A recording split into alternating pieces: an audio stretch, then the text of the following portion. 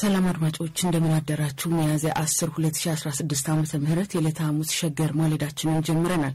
በማለዳችን ከሀገር ቤት የተገኙትን ከዓለም አቀፍ የሰማናቸውን ወሬዎች ትሰማላችሁ። እንዲሁም የቢዝነስ መረጃ፣ ወግ፣ የሐኪሙ መልእክትና ከዚህ ሰዓት ጀምሮ በ0111275454 ላይ በደንብ በመደወል ለማንን የምንጠይቅሎ ግርማ ፍስሐን ታገኙታላችሁ። ዘመንና ቴክኖሎጂም አለ። ወደኋላ ላይ አንድ ታሪክ የምናስታውሳችኋለን። በቴክኒኩ ሄለን እንድልነሳውና ማለዳውን እየመራው ማርታ በቀል አብረናችሁ እንሆናለን። ከሸገር ጋር ብትሆኑ ደስ ይለናል። ሸገር እናንተ ነው።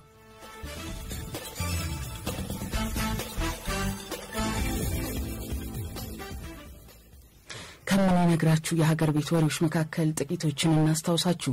ኢትዮጵያ ለማምረቻ ማሽነሪዎች መግዣ በየዓመቱ አንድ ነጥብ ሶስት ቢሊዮን ብር ወጪ ታደርጋለች ተብሏል።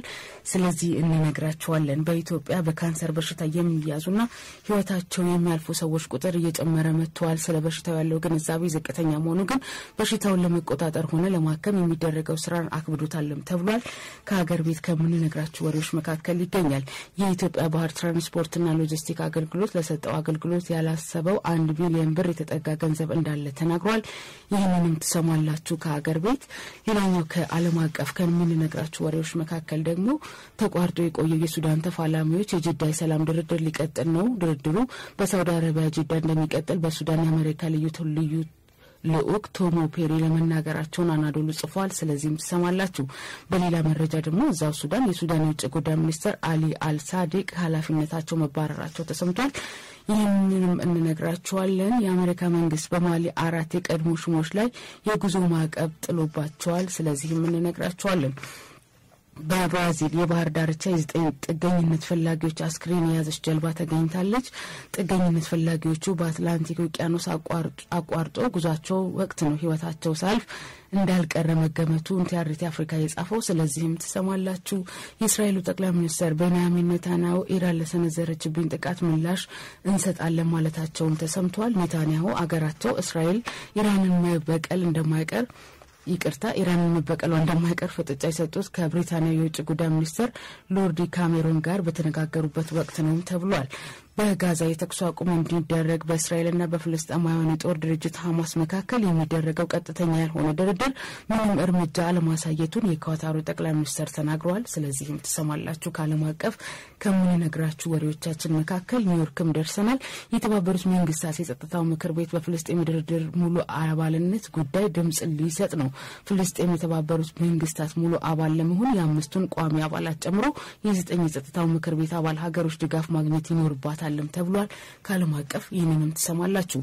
በተባበሩት አረብ ኤምሬትስ ያጋጠመው ከባድ የጎርፍ አደጋ ትናንት የአየር በረራውን በእጅጉ ያስተጓጎሉ ነበር ተብሏል። ከዓለም አቀፍ ይህንን እንነግራችኋለን።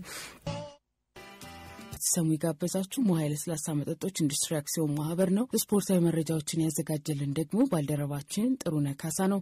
በስፖርታዊ መረጃችን ከሀገር ቤት ስፖርታዊ መረጃዎች ጀምረን ወደ ባህር ማዶ ስፖርታዊ መረጃዎችን እንዘልቃለን። አብራችሁን ሁኑ።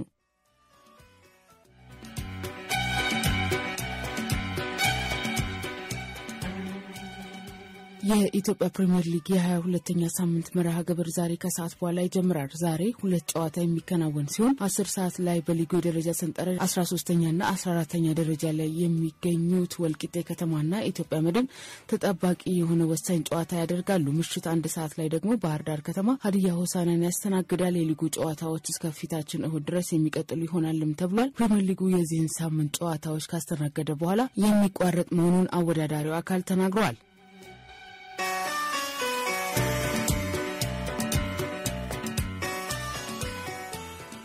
በአስራ አምስት የተለያዩ የዓለም ከተሞች የሚካሄደው የሀያ ሀያ አራት የዳይመንድ ሊግ ውድድር የፊታችን ቅዳሜ በቻይና ዢያሜን ከተማ ይጀምራል። የኢትዮጵያን ጨምሮ የምስራቅ አፍሪካ አትሌቶች ከፍተኛ ሽልማት ለማንሳት አሁንም ከፍተኛውን ግምት አግኝተዋል። ብዛት ያላቸው ብቻ ሳይሆን በአትሌቲክስ ከፍ ያለ ውጤት በማስመዝገብ የሚታወቁት ኢትዮጵያውያን አትሌቶች እንደሚፎካከሩበት መረጃው ጠቁሟል። በዘንድሮ የዳይመንድ ሊግ ውድድር ዢያሜን ላይ ተጀምሮ በቤልጅየም ብራሰልስ በመስከረም ወር 2017 ዓ ም ፍጻሜ ያገኛልም ተብሏል።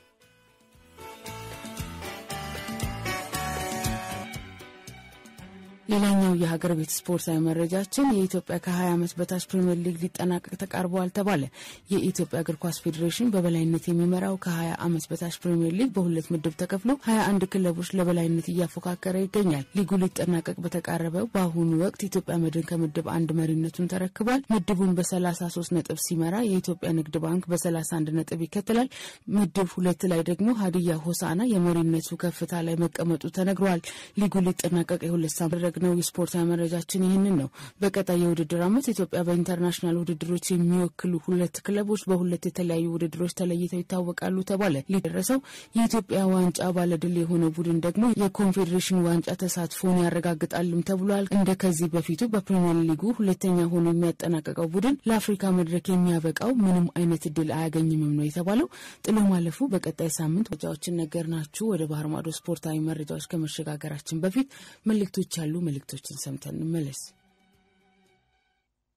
ተመልሰናል አድማጮች፣ ወደ ባህር ማዶ ስፖርታዊ መረጃዎቻችን እንሻገራለን። ትናንት ምሽት በተደረጉ ጨዋታዎች እንጀምር። ትናንት ምሽት በተከናወኑ የአውሮፓ ሻምፒዮንስ ሊግ የሩብ ፍጻሜ መልስ ጨዋታ ሪያል ማድሪድ እና ባየርን ሙኒክ ግማሽ ፍጻሜውን መቀላቀላቸውን አረጋገጥ ምክንያት አድርጎ መክሰሱ ተሰማ። ባርሴሎና በሜዳ ኦሎምፒክ በፒኤስጂ አራት ለአንድ ሲሸነፍ ጨዋታውን የመሩት አርቢትር አራት ቀይ ካርዶችን መዘዋል። እነዚህ ካርዶች ደግሞ ጨዋታውን ጎድቶታል በማለት አሰልጣኝ ዣቪ ሄርናንዴዝ ቅሬታውን አሰምተዋል። ዣቪ ዘንድሮ በቀይ ካርድ ከሜዳው ሲባረር ለሶስት ሶስተኛ ጊዜ ሲሆን የባርሴሎና አሰልጣኝ ከሆነ ወዲህ ደግሞ ቡድኑ አራት ቀይ ካርድና ሀያ ሁለት ቢጫ ካርድ ተመዞበታልም ተብሏል። ኢንተርናሽናል ኬቨን ዴብሮይን ላጣው እችላለሁ የሚል ከፍ ያለ ስጋት ውስጥ መሆኑ ተሰማ።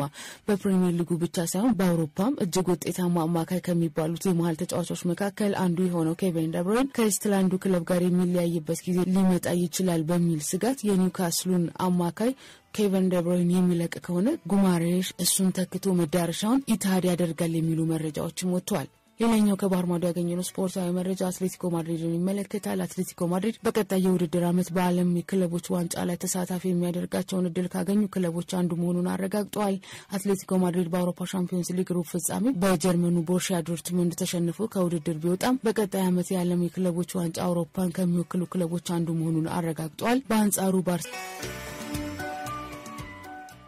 ማንቸስተር ዩናይትድ የሆላንዳዊን አሰልጣኝ ኤሪክ ቴንሃግ ምትክ እያመ ምትክ የማፈላለግ ስራውን አጠናክሯል ተባለ። በርካታ አሰልጣኞች በክለቡ አለቆች ምርጫ ውስጥ በአማራጭነት መያዛቸውም ተሰምቷል። በተለይም ደግሞ የቀድሞ የብራይተንና የቼልሲ አሰልጣኝ የነበሩት ግርሃም ፖተር እንዲሁም ጣሊያናዊ አሰልጣኝ ሮቤርቶ ዲዜብሪ ከእጩዎቹ መካከል ይገኙበታል። የክለቡ አለቆች ጀርመናዊ አሰልጣኝ ጁሊያን ናግሊስማን ለማግኘት ያላቸው ፍላጎት አይሳካም ተብሏል። ጀደን ሳንቾ በበኩሉ ኤሪክ ቴንሃግ ከተባረሩ ለመመለስ ዝግጁ ነኝም ብለዋል። አድማጮች በባህር ማዶ ስፖርታዊ መረጃችን ሊቨርፑል ጋር ደርሰናል። ሊቨርፑል የግብፃዊ የፊት መስመር ተሰላፊ ሞሐመድ ሳላ ምትክ ማድረግ ያለበት ተጫዋች ይፋ አደረገ ተባለ። በተለይም የቀድሞ የቡድኑ ትላልቅ ተጫዋቾች ናይጄሪያዊ የናፖሊ አጥቂ ቪክቶር ኦሲሜን ዋነኛ የሳላ ምትክ መሆን የሚችል በመሆኑ ክለቡ በዚህ ላይ ስራ ሊሰራ ይገባል በማለት ተጠቁሟል። ሳላ ተሰናባቹን አሰልጣኝ የርገን ክሎፕን ተከትሎ ክለቡን ከሚለቁ ተጫዋቾች መካከል አንዱ ይሆናል የሚል መረጃ ከፍ ያለ ቦታ ይዟል። በዚህ የተነሳ ቪክቶር ኦሲሜን እንዲተካው ማድረግ ተገቢ እንደሆነም ተጠቁሟል።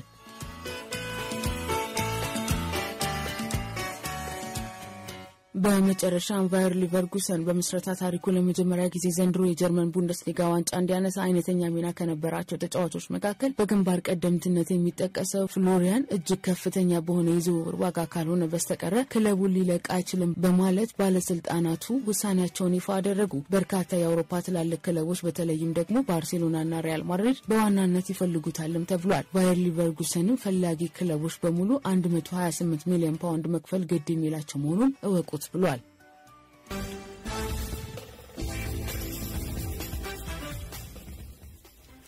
በድጋሚ እንደምን አደራችሁ አድማጮች። ከዚህ ሰዓት ጀምሮ ደግሞ ከዓለም አቀፍ የሰማናቸውን ወሬዎች እንነግራችኋለን። ሱዳንን ቀዳሚ ያድርገናል። ተቋርጦ የቆየው የሱዳን ተፋላሚዎች የጅዳ የሰላም ድርድር ሊቀጥል ነው። ድርድሩ በሳውዲ አረቢያ ጅዳ እንደሚቀጥል በሱዳን የአሜሪካ ልዩ ልዑክ ቶም ፔርሌ መናገራቸውን አናዶሉ ጽፏል። ፔርሎ እንዳሉት ድርድሩ ለሶስት ሳምንታት ይካሄዳል። ድርድሩ የሚካሄደው የሱዳን ጦርነት ከዓመት በላይ ባስቆጠረበት አጋጣሚ ነው።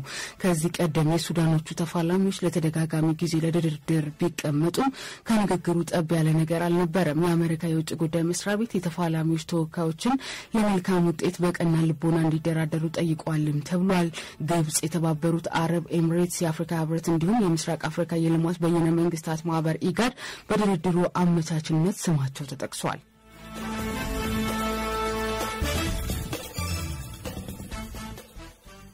በሌላ መረጃ እዛው ሱዳን የሱዳን የውጭ ጉዳይ ሚኒስትር አሊ አልሳድግ ከኃላፊነታቸው መባረራቸው ተሰማ።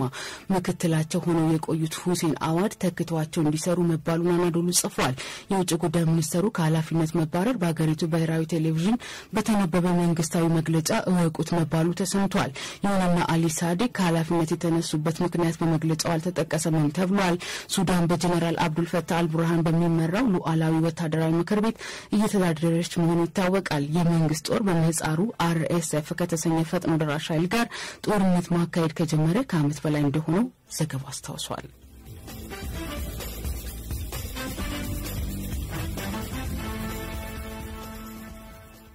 በኮንጎ ኪንሻሳ ተልእኮውን አጠናቆ በመሸኘት ላይ የሚገኘው የተባበሩት መንግስታት ሰላም አስከባሪ ኃይል በአማጽያን የታፈኑ አምስት ታጋቾችን አስለቀቅኳቸው አለ። ሰላም አስከባሪው ታጋቾቹን ያስለቀቀው በምስራቃዊ የሀገሪቱ ክፍል ኢቱሪ እንደሆነ ዘ ኢስት አፍሪካን ጽፏል። ከእገታ ነጻ ከወጡት መካከል አንዲት ሴትና ሁለት ህጻናት ይገኙበታልም ተብሏል። ምስራቃዊ የኮንጎ ኪንሻሳ ክፍል በመቶዎች የሚቆጠሩ አማጺና ታጣቂ ቡድኖች የሚርመሰመስበት ነው።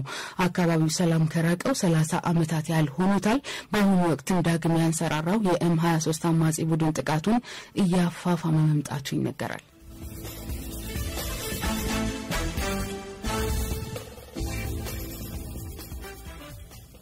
በዓለም አቀፍ መረጃችን ሄቲ ደርሰናል። ስርዓት አልበኝነት ሰፍኖባት በቆየው ሄቲ የጊዜያዊ አስተዳደር ምክር ቤት ተመሰረተ። የጊዜያዊ አስተዳደር ምክር ቤቱ መሰየም በሀገሪቱ ተፈጥሮ የነበረውን የስልጣን ክፍተት እንደሚሞላ ገልፍ ታይምስ ጽፏል። ሀገሪቱ በገጠማት ስርዓት አልበኝነት የቀድሞ ጠቅላይ ሚኒስትር ኤሪያል ሄነሪ ወደ ሀገር ቤት መመለስ ተስኗቸው ካሉበት ሆኖ ስልጣን ለቅቄያለሁ ካሉ ቆይተዋል። ሀገሪቱ በተደራጁ የወሮበላ ቡድኖች አበሳዋን እያየች ነው። በሀገሪቱ በኬንያ የሚመራ ዓለም አቀፍ ሕግና ስርዓት አስከባሪ የፖሊስ ኃይል ለማሰማራት ከታሰበ ቆይቷል። በሄቲ ስርዓት አልበኝነቱ 360 ሺህ ያህል ሰዎችን ማፈናቀሉን ዘገባው አስታውሷል።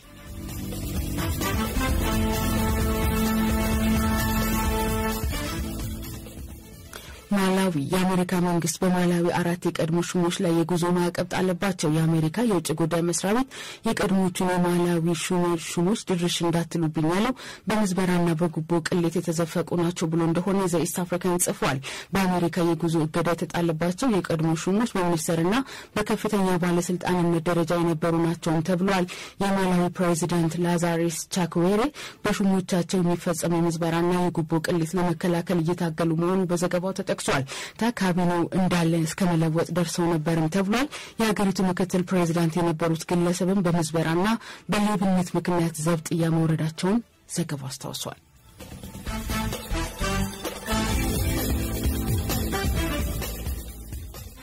በብራዚል የባህር ዳርቻ የዘጠኝ ጥገኝነት ፈላጊዎች አስክሬን የያዘች ጀልባ ተገኘች። ጥገኝነት ፈላጊዎቹ በአትላንቲክ ውቅያኖስ አቋራጩ ጉዟቸው ወቅት ሕይወታቸው ሳያልፍ እንዳልቀረ መገመቱን ተሪት አፍሪካን ጽፏል። በጀልባዋ ላይ እንዳሉ ሕይወታቸው ያለፈው ጥገኝነት ፈላጊዎቹ ከማሊ ከማሊና ከሞሪታኒያ የተነሱ እንደሆኑ ጀልባዋ ላይ የተገኘ የጉዞ ሰነዶች ያሳያሉም ተብሏል። በጀልባዋ ላይ በተገኘ የዝናብ ልብሶች መሰረትም ጥገኝነት ፈላጊዎቹ ሀያ አምስት ሆነው ጉዞውን ሳይጀምሩት እንዳልቀረ ተገምቷል። ጀልባዋ በራሷ ኃይል ተገፍታ በብራዚል ሰሜናዊ የውቅያኖስ ዳርቻ መገኘቷም ታውቋል። በመናኛ ጀልባዎች የሚደረግ አትላንቲክ ውቅያኖስ ተሻጋሪ ስደተኞች ጉዞ እጅግ አደገኛ እንደሆነ ዘገባው አስታውሷል።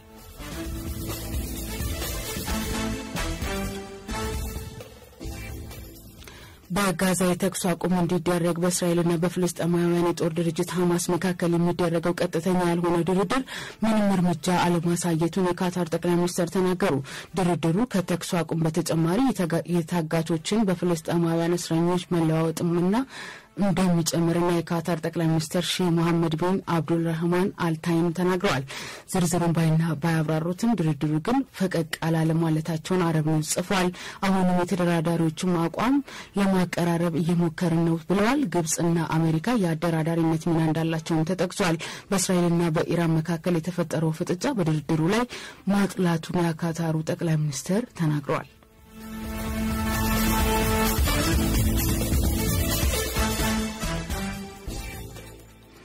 አድማጮች ከዓለም አቀፍ የተገኙ ወሬዎችን እየሰማችሁ ነው። ኢራን ደርሰናል። የኢራን ባህር ኃይል በቀይ ባህር ለሀገሪቱ የጭነት መርከቦች እጀባ እያደረገ ነው። የባህር ኃይሉ ለንግድ መርከቦች እጀባ የሚያደርገው ከእስራኤል ጋር የጦር ዛቻው እየተባባሰ በመምጣቱበት ወቅት እንደሆነ አልጀዚራ ጽፏል። እስራኤል በኢራን የንግድ መርከቦች ላይ ጥቃት ልታደርስ ትችላለች የሚል ስጋትም ገብቶታል። ኢራን ባለፈው ሳምንት ማብቂያ በእስራኤል ላይ ከሶስት መቶ በላይ ሚሳይሎችን መተኮሷን ዘገባው አስታውሷል። እስራኤልም ለዚህ ምላሽ መስጠቴ አይቀርም እያለች ነው። ኢራን በእስራኤል ላይ ሚሳይሎችና ድሮኖችን የተኮሰችው ቀደም ሲል በደማስቆ በሚገኘው የቆንስላ ጽሕፈት ቤቷ ላይ ለተፈጸመው ጥቃት ምላሽ እንደሆነ እወቁ ብላለች። ለደማስቆ ጥቃት እስራኤል ኃላፊነቱን አልወሰደችም።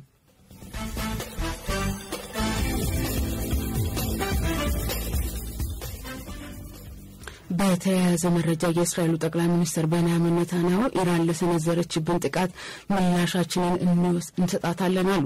ኔታንያሁ አገራችን እስራኤል ኢራን መበቀሏ እንደማይቀር ፍንጭ የሰጡት ከብሪታንያው የውጭ ጉዳይ ሚኒስትር ሎርድ ካሜሮን ጋር በተነጋገሩበት ወቅት ነው።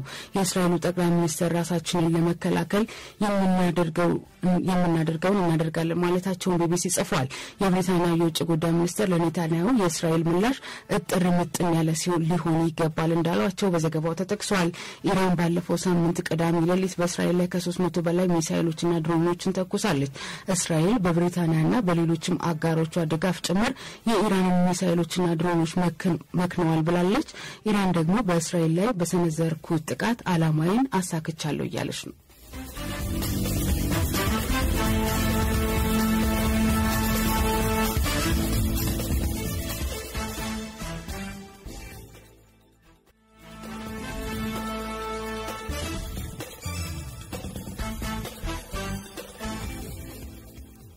ተመልሰናል አድማጮች። የዓለም አቀፍ ወሬዎቻችን ቀጥለዋል።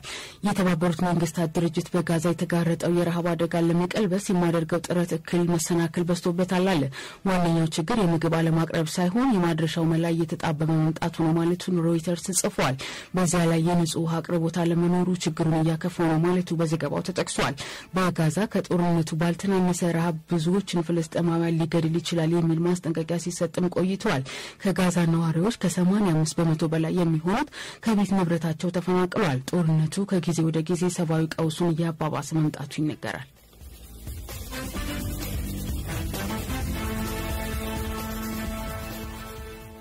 የተባበሩት መንግስታት የጸጥታው ምክር ቤት በፍልስጤም የድርጅቱ ሙሉ አባልነት ጉዳይ ድምጽ ሊሰጥ ነው። ፍልስጤም የተባበሩት መንግስታት ሙሉ አባል ለመሆን የአምስቱን ቋሚ አባላት ጨምሮ የዘጠኝ የጸጥታው ምክር ቤት አባል ሀገሮች ድጋፍ ማግኘት ይኖርባታል። አሜሪካ፣ ብሪታንያ፣ ሩሲያ፣ ፈረንሳይና ቻይና ድምፅን በድምፅ የመሻር መብት ያላቸው የጸጥታው ምክር ቤት ቋሚ አባል ሀገሮች ናቸው።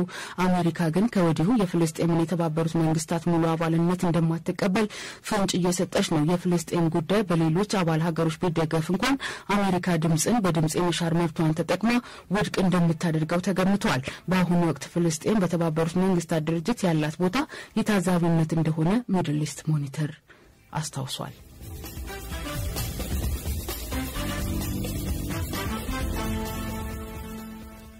ከስልጣን ከተገለበጡ በኋላ በእስር ላይ የቆዩት የሚያንማር የቀድሞ መሪ አንግ ሳን ሱኪ ከእስር ቤት ወጥተው በቁም እስር እንዲውሉ ተደረገ። ሱኪ እስር ሱኪ እስሩ ወደ ቁም እስር የተለወጠላቸው በሀገሪቱ የሙቀት መጠን በእጅጉ እየጨመረ በመምጣቱ ምክንያት እንደሆነ የአሜሪካ ድምጽ በድረገጹ ጽፏል።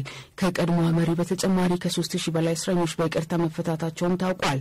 አንግ ሳን ሱኪ ለሀገር መሪነት ከመብቃታቸው አስቀድሞም ለ27 ዓመታት በእስር ማሳለፋቸውን ዘገባው አስታውሷል።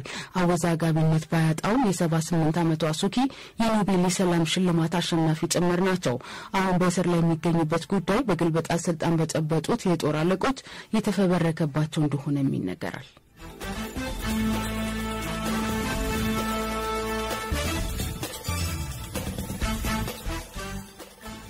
በመጨረሻም በተባበሩት አረብ ኤምሬትስ ያጋጠመው ከባድ የጎርፍ አደጋ ትናንት የአየር በረራውን በእጅጉ ያስተጓጎለ ነበር ተባለ። በከባዱ ሽንፈር የታጀበው ጎርፍ በዱባይ ዓለም አቀፍ ኤርፖርት ብቻ 290 ዓለም አቀፍ በረራዎች እንዲሰረዙ እንደተሰረዙ ቢቢሲ ጽፏል። 440 በረራዎች ደግሞ መዘግየት እንደገጠማቸው አድርጓልም ተብሏል። መንገደኞችም ከፍተኛ መጉላላት እንደደረሰባቸው ነው የተነገረው። የኤምሬትሱ ጎርፍ ከዚህ ቀደም ታይቶ የማይታወቅ እንደሆነም ተጠቅሷል። አንድ ግለሰብም ከነ መኪና መኪናው በጎርፍ ተወስዶ ህይወቱ ማለፉ ተሰምቷል። ሰሞኑን በኡማን ተከስቶ በነበረው ጎርፍም የ19 ሰዎች ህይወት ማለፉን ዘገባው አስታውሷል።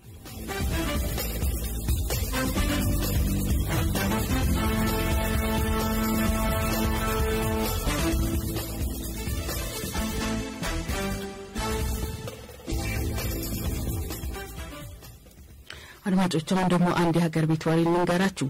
ምንጩም መድኃኒቱም በማይታወቀው ፓርኪንሰንስ ህመም የተያዙ ሰዎች ለማገዝ የድጋፍ መታጠን መታጣት ዋነኛ ችግር ነው ተባለ። በኢትዮጵያ ምን ያህል ሰዎች በፓርኪንሰንስ በሽታ የተያዙ እንዳሉ መረጃ እንደሌለ እንዲሁም የሀገሪቱ የጤና ስትራቴጂ ውስጥ አለመካተቱም ተሰምተዋል። ለህሙማንና ለአስታማሚዎች የተለያየ ድጋፍ ሲሰጥ የቆየው መንግስታዊ ያልሆነ በጎ አድራጊ ድርጅትም አቅም አጥቶ እገዛ እየጠየቀ ነው። ምንታምር ጸጋው ተመልክተዋለች። የፓርኪንሰን ህመም ተጠቂዎችን ለመደገፍ የአቅም ማነስ ፈተና እንደሆነበት የፓርኪንሰን ህሙማን መርጃ ማዕከል ተናግሯል። በአሁኑ ወቅት ከ1200 በላይ የፓርኪንሰን ህመምተኞችን በስሩ ያቀፈው ማዕከሉ ካለው የኑሮ ውድነት ጋር ተዳምሮ የመድኃኒትና ሌሎችም ወጪዎችን ለመሸፈን እየተቸገረ መሆኑን የማዕከሉ የህዝብ ግንኙነትና ሀብት ማሰባሰብ ኃላፊ አቶ ዘሪሁን ኃይሉ ለሸገር ተናግረዋል። ማዕከሉ ላለፉት 13 ዓመታት በአንድ ግብረሰናይ ድርጅት ሲደገፍ ቢቆይም በአሁኑ ወቅት ድጋፍ የሌላቸውን በስሩ ያሉትን ለመርዳት የሌሎችን እገዛ ጠይቋል። የሀገሪቱ የጤና ፖሊሲም የፓርኪንሰን በሽታን እንደ አሳሳቢ የጤና ችግር ስለማይመለከተው በመንግስትም ምንም አይነት ትኩረት እንደማይሰጠው አቶ ዘሪሁን ይናገራሉ። አሁን የኛ በጣም ትልቁ ችግራችን የፋይናንስ የገንዘብ ችግር ነው ለምሳሌ በተለያዩ የክልላቶች ላይ እንኳን ወጥተን መስራት እንፈልጋለን። የተወሰኑ ፕሮግራሞችም አሉ። ነገር ግን ከፍተኛ የሆነ የበጀት constraint አለብን። ብቸኛ ነን። አጋዥ አካል ብዙ የለንም። ከመንግስት ከተገቢ ትኩረት አልተሰጠውም ለበሽታው። የሀገሪቱ የጤና ስትራቴጂ ህመሙ የተካተተ አይደለም እና ከዛ ከዛ አንጻር አሁን እኛ አገልግሎቱን መስጠት ባለብን ልክ እየሰጠን አይደለም። ሆስፒታል እንደዚህ አይነት ክሊኒኮችን አቋቁሞ ከሆስፒታሎች ጋር በጣም በተጠናከረ መልኩ እዛው ሄዶ የዛ ማዕከላትን ፈጥሮ እንደዚህ አድርጎ የመስራት የወደፊት እቅዶች አሉ። ነገር ግን አሁን ባለን resource ያን ማድረግ የምንችልበት ደረጃ የፓርኪንሰን በሽታ ከመላምት ውጭ የሚከሰትበት ይህ ነው የሚባል ቋሚ ምክንያት የሌለው የአንጎል ውስጣዊ ስርዓት ላይ በሚከሰት መዛባት የሚመጣ የነርቭ በሽታ አይነት ነው። በበሽታው የተጠቁ ሰዎች ከቁጥጥራቸው ውጭ የሆነ መንቀጥቀጥ፣ የሰውነት መግረር፣ የሰውነት ሚዛን መሳት፣ ዘገምተኛ እንቅስቃሴ፣ አንዳንድ ጊዜም ለመናገር የመቸገር ምልክቶችን ያሳያሉ። የተለመደው ምልክት ለምሳሌ የመጀመሪያው መንቀጥቀጥ በአንድ side ወይ ከአንድ ጣት ጀም ይጀምርና መንቀጥቀጡ ቀስ እያለ እያለ እያለ ወደ ሁሉም side ይዞራል ማለት ነው። እና መንቀጥቀጡ ግን ስራ እየሰሩ አይንቀጠቀጡ። የሚገርመው ነገር ልክ ቁጭ ሲሉ ነው የሚንቀጠቀጡ። እኔ ፓርኪንሰን ከሌላ ነርቭ ህመም የሚለይ መሆኑን አንደኛው መለያው መንገድ በራሱ እሱ ነው። ቁጭ ሲሉ እና እረፍት በትርፍ ሰዓታቸው ላይ ነው የሚንቀጠቀጡት። እንደዚህ አረፍ ሲሉ ማለት ነው። የሆነ ነገር ከያዙ ይቀንሳል። በጣም በጣም የባሰ ካልሆነ በስተቀር ይቀንሳል። በ normal ሰዓት ግን በጣም ነው የሚንቀጠቀጡት። አንደኛው እሱ ነው። እጃቸው ብቻ አይደለም አንዳንዶቹ ታማሚዎች ላይ ደግሞ በጣም የአንገታቸውን ሳይቀር ያንቀጠቅጡታል። ከዛ ምላስን ያዝ ማድረግ ምላስ ልክ እንደጠጣ ሰው ምላሳቸው ይያዛል በጊዜ ሂደት። እኛ እንደውም ይህንን በማስ ለዚህ ችግር አንድ ከምንሰጣቸው አገልግሎት አንዱ የንግግር ክህሎት ነው እና ለመዋጥ መቸገር፣ ምግብ ሲበሉ ትንታ፣ መዋጥ መቸገር፣ ሰውነታቸው ግትር መሆን ሪጅድ ይሆናል። እየሄዱ ግራ ለማንሳት መሬት ላይ ጥብቅ ልናገራቸው ላይነሳ ይችል እንደ ልቡ ላይ ተጣጠፍ የሚችልበት እድል አለ። ከዛ ይህ አጥንታቸው ወደ ፕላስቲክ እጥፍ የሚሉት balance አይጠብቁም፣ ሚዛን አይጠብቁም። የሆድ ድርቀት በጣም በሆድ ድርቀት ይጠቃሉ። የለሀጭ መዝረብረብ እና የመሳሰሉ ነገሮች አሉት በባህሪው በሽታው ማለት ነው። በበሽታው የተጠቃ ሰው ሙሉ ለሙሉ እንቅስቃሴው የሚገደብና ተከታታይነት ያለው የሰዎችን ድጋፍ የሚፈልግ መሆኑን ላለፉት ስምንት ዓመታት ከህመሙ ጋር እየታገሉ እንዳሉ የነገሩን አቶ ተሾመ ወልደ ሰማያት የተባለው የፓርኪንሰን ህመምተኛ ናቸው። ህመሙ ሲጀምረኝ ሾፌር ነበርኩ። መኪና ስነዳ አስር አባርጎ ወደቀ። መኪና ዳገት ስወጣ እኔ ወደቁ መጀመሪያ። ከዚያ በኋላ መኪናው የሆነውን አላውቅም። በወቅቱ በወደቅኩ ጊዜ ሰውነቴንም በለይቼም አላውቅም ነበር። ብዙ ጊዜ በፈጀው ህመሙ እንትን ቢል አሰሪ ግለሰብ ነበር። እሱም በአንድ በኩልም አመሰግነዋለሁ። እሱም አይዞ ፍራንኩንም የታመምክበትንም ደሞዝህንም አልቆርጥብህም፣ አይዞ አንተ ብቻ ዳን እያለ ምክር ለግሶኛል። አይዞ ብሎኝ ያው ደሞዜን እየሰጠኝ ኖርሁ። ከዚያ ተጊዜ በኋላ ስራውን አቋቋ ማንቀጥቀጡ አልፎ አልፎም ቢኖር ደህና ነው። እንደው አንዳንድ ነገር በስጨት ሲያደርገኝ እንትን ይልበኛል ይልና ይልብኛል እንጂ አሁን ስበላም በተለይ በምጠጣ ጊዜ እንዲህ ባላንሴን አይጠብቅልኝም ነበር። ስጠጣ እንዲህ ይፈስብኝ ነበር። እሱ ስንቁሉ አሁን ደህና ነው፣ እግዚአብሔር ይመስገን። የፓርኪንሰን ህመም በኢትዮጵያ የስርጭቱ መጠን ምን ያህል እንደሆነ እንዳልተጠናና በውልም እንደማይታወቅ የሚናገሩት የማህበሩ የህዝብ ግንኙነት ኃላፊ አቶ ዘሪሁን ህመሙ የተለያዩ ደረጃዎች እንዳሉትም ጠቁመውናል። የፓርኪንሰን በሽታ 85 በመቶ የሚያጠቃው እድሜያቸው ከ60 ዓመት በላይ ሆኑ ሰዎችም ቢሆንም 15 በመቶ ደግሞ ከ25 ዓመት ጀምሮ ያሉ ወጣቶችንም ጭምር እንደሚያጠቃ ሰምተናል። በየዓመቱ ሚያዝያ ሶስት ቀን ዓለም አቀፍ የፓርኪንሰን ህመምተኞች ቀን ተብሎ ይከበራል። ቀኑም ስለ በሽታው ግንዛቤ የሚሰጥበት ቀን ሆኖ እንደሚከበር የነገሩን ኃላፊው በኢትዮጵያም ስለ በሽታ ያለው ግንዛቤ በጣም ዝቅተኛ መሆኑን ይጠቁማሉ። የኢትዮጵያ ፓርኪንሰን ህመምተኞች ድጋፍ ማዕከልም ቀኑን በህመም ተጠቅተው አልጋ ላይ የቀሩ ህሙማንን በመጎብኘት አክብሯል። በዚህም ወቅት ሸገር በምልከታዊ ቃኛቸው ህመምተኞችም ቤተሰብ እንደማይድኑ ሲያውቅ ትቷቸው በባዶ ቤት ተዘግቶባቸው ያሉ ይገኙበታል።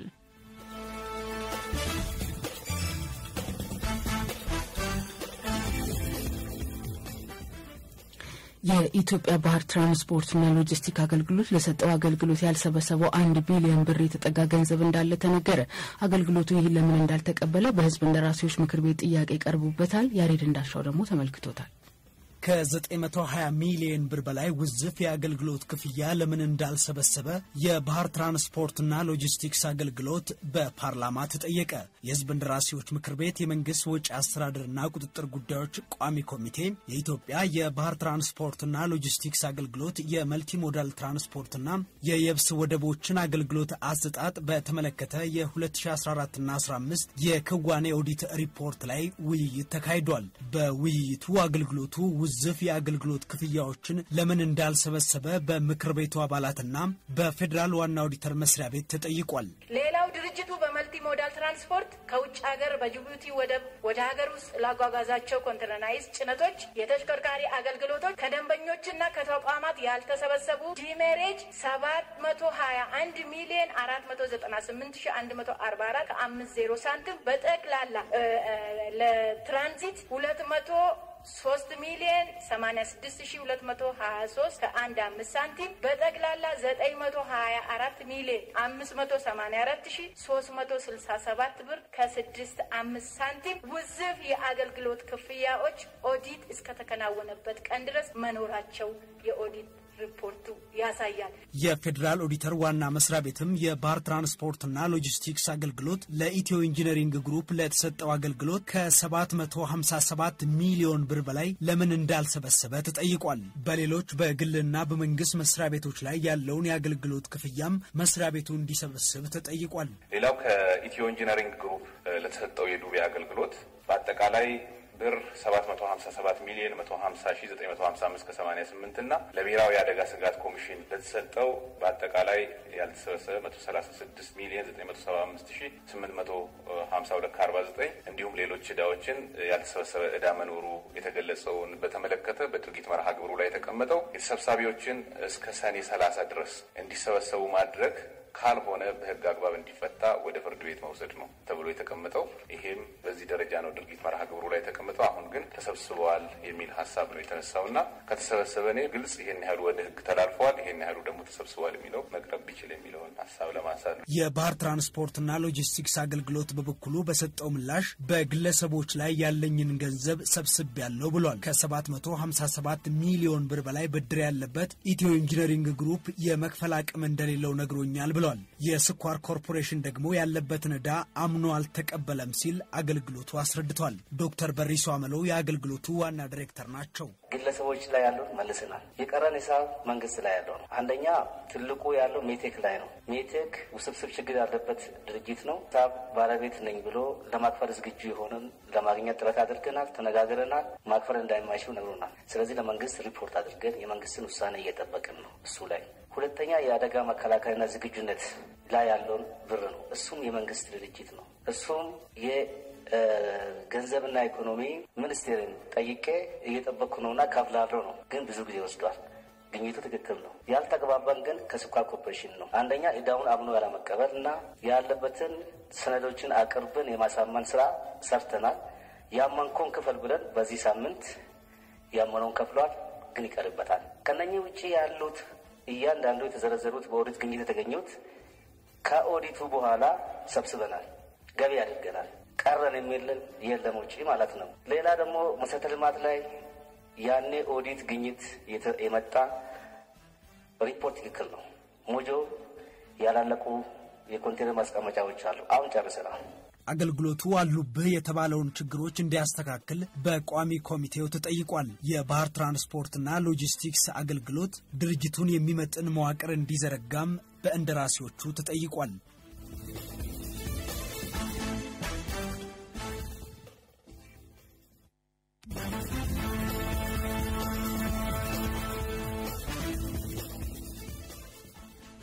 ሸገር ኤፍኤም መቶ ሁለት ነጥብ አንድ የእናንተን ሬዲዮ እያደመጣችሁ ስለሆነ እናመሰግናለን አድማጮች። የዕለተ ሐሙስ የማለዳ መረጃዎቻችንን እየነገርናችሁ ነው። አሁን ኢትዮ ቴሌኮም እንድትሰሙለት ወደ ጋበዛችሁ ዘመንና ቴክኖሎጂ ፕሮግራም እናልፋለን። ዘመንና ቴክኖሎጂ አንዱን ሲሉት ሌላው ሌላውን ሲሉ ደግሞ አንዱ ጉዳይ ይከተላል። በዚህ ጥድፊያ ግርግርና ጫጫታ በበዛበት ጊዜ የመረጣችሁት የፈለጋችሁት ሁሉ በአንድ ጊዜ ፍጽምጽም አይልም። አንዱን አንስታችሁ ሌላውን የእጃችሁን ሳጥሎ የጀመራችሁትን ጨርሳችሁ የፊታችሁንም ለመጀመር ሁሉን በአንድ የያዘ የሚያስጉዝ ቀላል መንገድና ማለፊያ መስመር ያስፈልጋችኋል። የሀገሬው ሰው በአንድ ድንጋይ ሁለት ወፍ ይላል። ዛሬ ግን በአንድ ድንጋይ ለምን ሁለት ወፍ ብቻ እንላችኋለን። ለምን እንደዚህ ያላችሁ ካላችሁን በአንድ ድንጋይ እልፍ ወፎችን እንጂ የሚያስብል አንድ ትልቅ ነገር ልንነግራችሁ ስለሆነ ነው። የምናከብራችሁ ውድ የኢትዮ ቴሌኮም ደንበኞችና አድማጮች ጉዳይን ጉዳይ እያነሳዋል አይደል? በዛሬው ዘመንና ቴክኖሎጂ መሰናደው ሺህ ጉዳዮችን ጥንቅቅ ለማድረግ እዚህና እዚያ ሳትወራውሩ ሳትጣደፉ በኪሳችሁ በያዛችሁት ስልክ በኢትዮ ቴሌኮም ሲም ካርድ እንዴት ማቀላጠፍ እንደምትችሉ እናወጋችኋለን።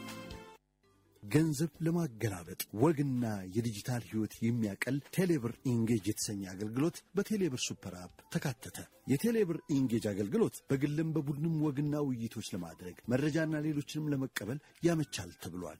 ፎቶ፣ ጽሑፍ፣ ቪዲዮ፣ ድምፅና ሌላውንም ሰነድ ለመላክ በቴሌብር Super App የቴሌብር Engage ስንዱ ሆነ። ይህ የቴሌብር Super App ወደ ሌላኛው ምዕራፍ ያሸጋገረው ቴሌብር Engage ም ምን ይዟል? ምንስ ያመጣል? ፍሬዎት ታምሩ የኢትዮ ቴሌኮም ዋና ስራ አስፈጻሚ። ሁልጊዜ እንደምንለው እኛ ቴክኖሎጂ የምናመጣው ህይወትን ለማቅለል ነው።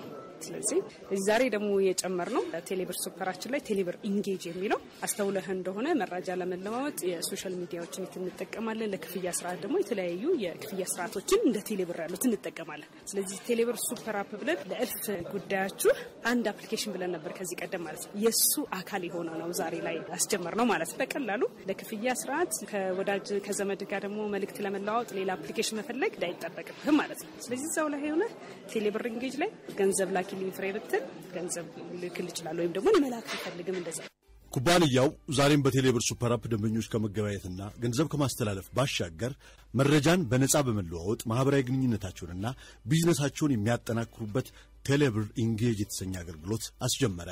ቴሌብር Engage የቢዝነስም ሆነ ግለሰብ ደንበኞች ያለምንም የኢንተርኔት ክፍያ ለወዳጅ ዘመድ ጽሑፍ ለመላክ፣ ፎቶ ለመስደድ፣ ድምፅ ለመላክ፣ ቪዲዮና ሌሎች ሰነዶችን ለማጋራት የሚያስችል አገልግሎት ነው። ቴሌብር Engage በዓል ሲደርስ መልካም ምኞት መልእክት ከገንዘብ ስጦታ ጋር መላክ የሚያስችላቸውን ስሜትና ሌሎች ሐሳቦችን ሸብቦ አካቷል።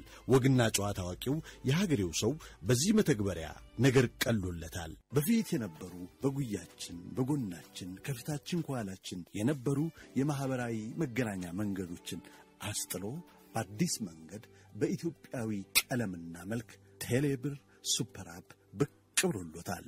ቴሌብር Engage የተሰኘ አገልግሎት የየአውደ ዕለቱን ጉዳይ ሁሉ እዛና እዚህ ሳትጣደፉ ቁም ነገሩንም ጨዋታውንም ለዛውንም ሁሉ የምትፈጽሙበት ነው ተብላችኋል። አጫጭር የጽሑፍ መልእክት ቢረዝምም ግድ የለም። ቪዲዮ፣ ሌሎች ሌሎች አገልግሎቶችን ቴሌብር Super App ሰብሰብ አድርጎ ይዞላችሁ መጥቷል። ጨምር ነው እልፍ ጉዳያችን አንድ application ብለን የለ ቴሌብር Super App። ስለዚህ ቴሌብር Engage ደግሞ ይዞልን የመጣው አጫጭር መልእክቶችን፣ ድምፆችን ቪዲዮዎችን እንደዚሁም በቀላሉ በዚሁ በቴሌብር Engage ላይ ሆነ መላክ የምንችልበትና እዛው መልእክታችን የተለዋወጥን ደግሞ ገንዘብ መላክ ከፈለግን መላክ የምንችልበት የምንቀበልበት ሻሞ የሚል ደግሞ ጨምረንበታል። ማህበራዊ እሴታችን ነው ብለን እናስባለን። ስለዚህ ደስታችንን የምንጋራበት አይደለም። ማህበራዊ መስተጋብርን ለመፍጠር አንድ application ላይ ሄደ ገንዘብ ላክልኝ ብለ text ልከ ገንዘቡን ለመላክ ደግሞ ሌላ application ላይ መሄድ አይጠበቅም።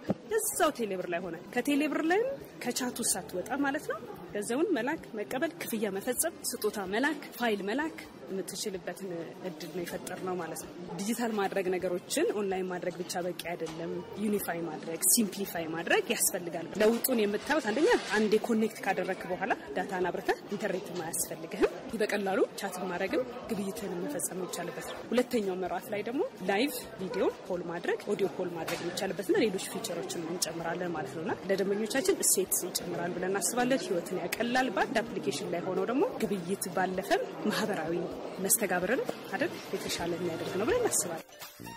ውድ የምናከብራችሁ አድማጮችና ደንበኞች እናከብራችኋለን ስንል በቃል ብቻ አይደለም፣ በእርግጥም በተግባር እናከብራችኋለን። እናንተንም ማገልገል ፍላጎታችን ነው። ሁልጊዜም የአገር ቤቱን ኢትዮ ቴሌኮምን ስለምትመርጡ ምስጋናችንን ውሰዱ።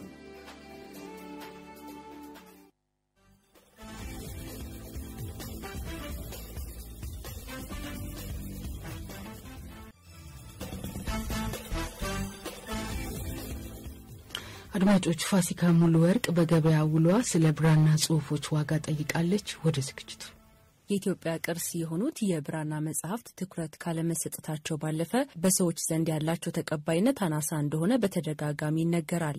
የብራና ጽሁፎች ሲጻፉ ረዘም ያለ ጊዜ መውሰዳቸው፣ መጽሐፍቱ የሚያስፈልጋቸው የጥሬ ዕቃ እጥረት መኖሩና ሌሎችም ችግሮች ተደማምረው ቅርሱ እንዳንገለገልበት ምክንያት ፈጥሯል ተብሏል። በዚህም ዙሪያ የሚታየውን ችግር ለመቀነስና ቅርሶቹ ተጠቃሚነታቸው እንዲሰፋ ለማድረግ ሐመረ ብርሃን የብራና መጽሐፍ የተሰኘ ድርጅት ስራዎችን መከወን ከጀመርኩ ቆይቻለሁ ብሏል።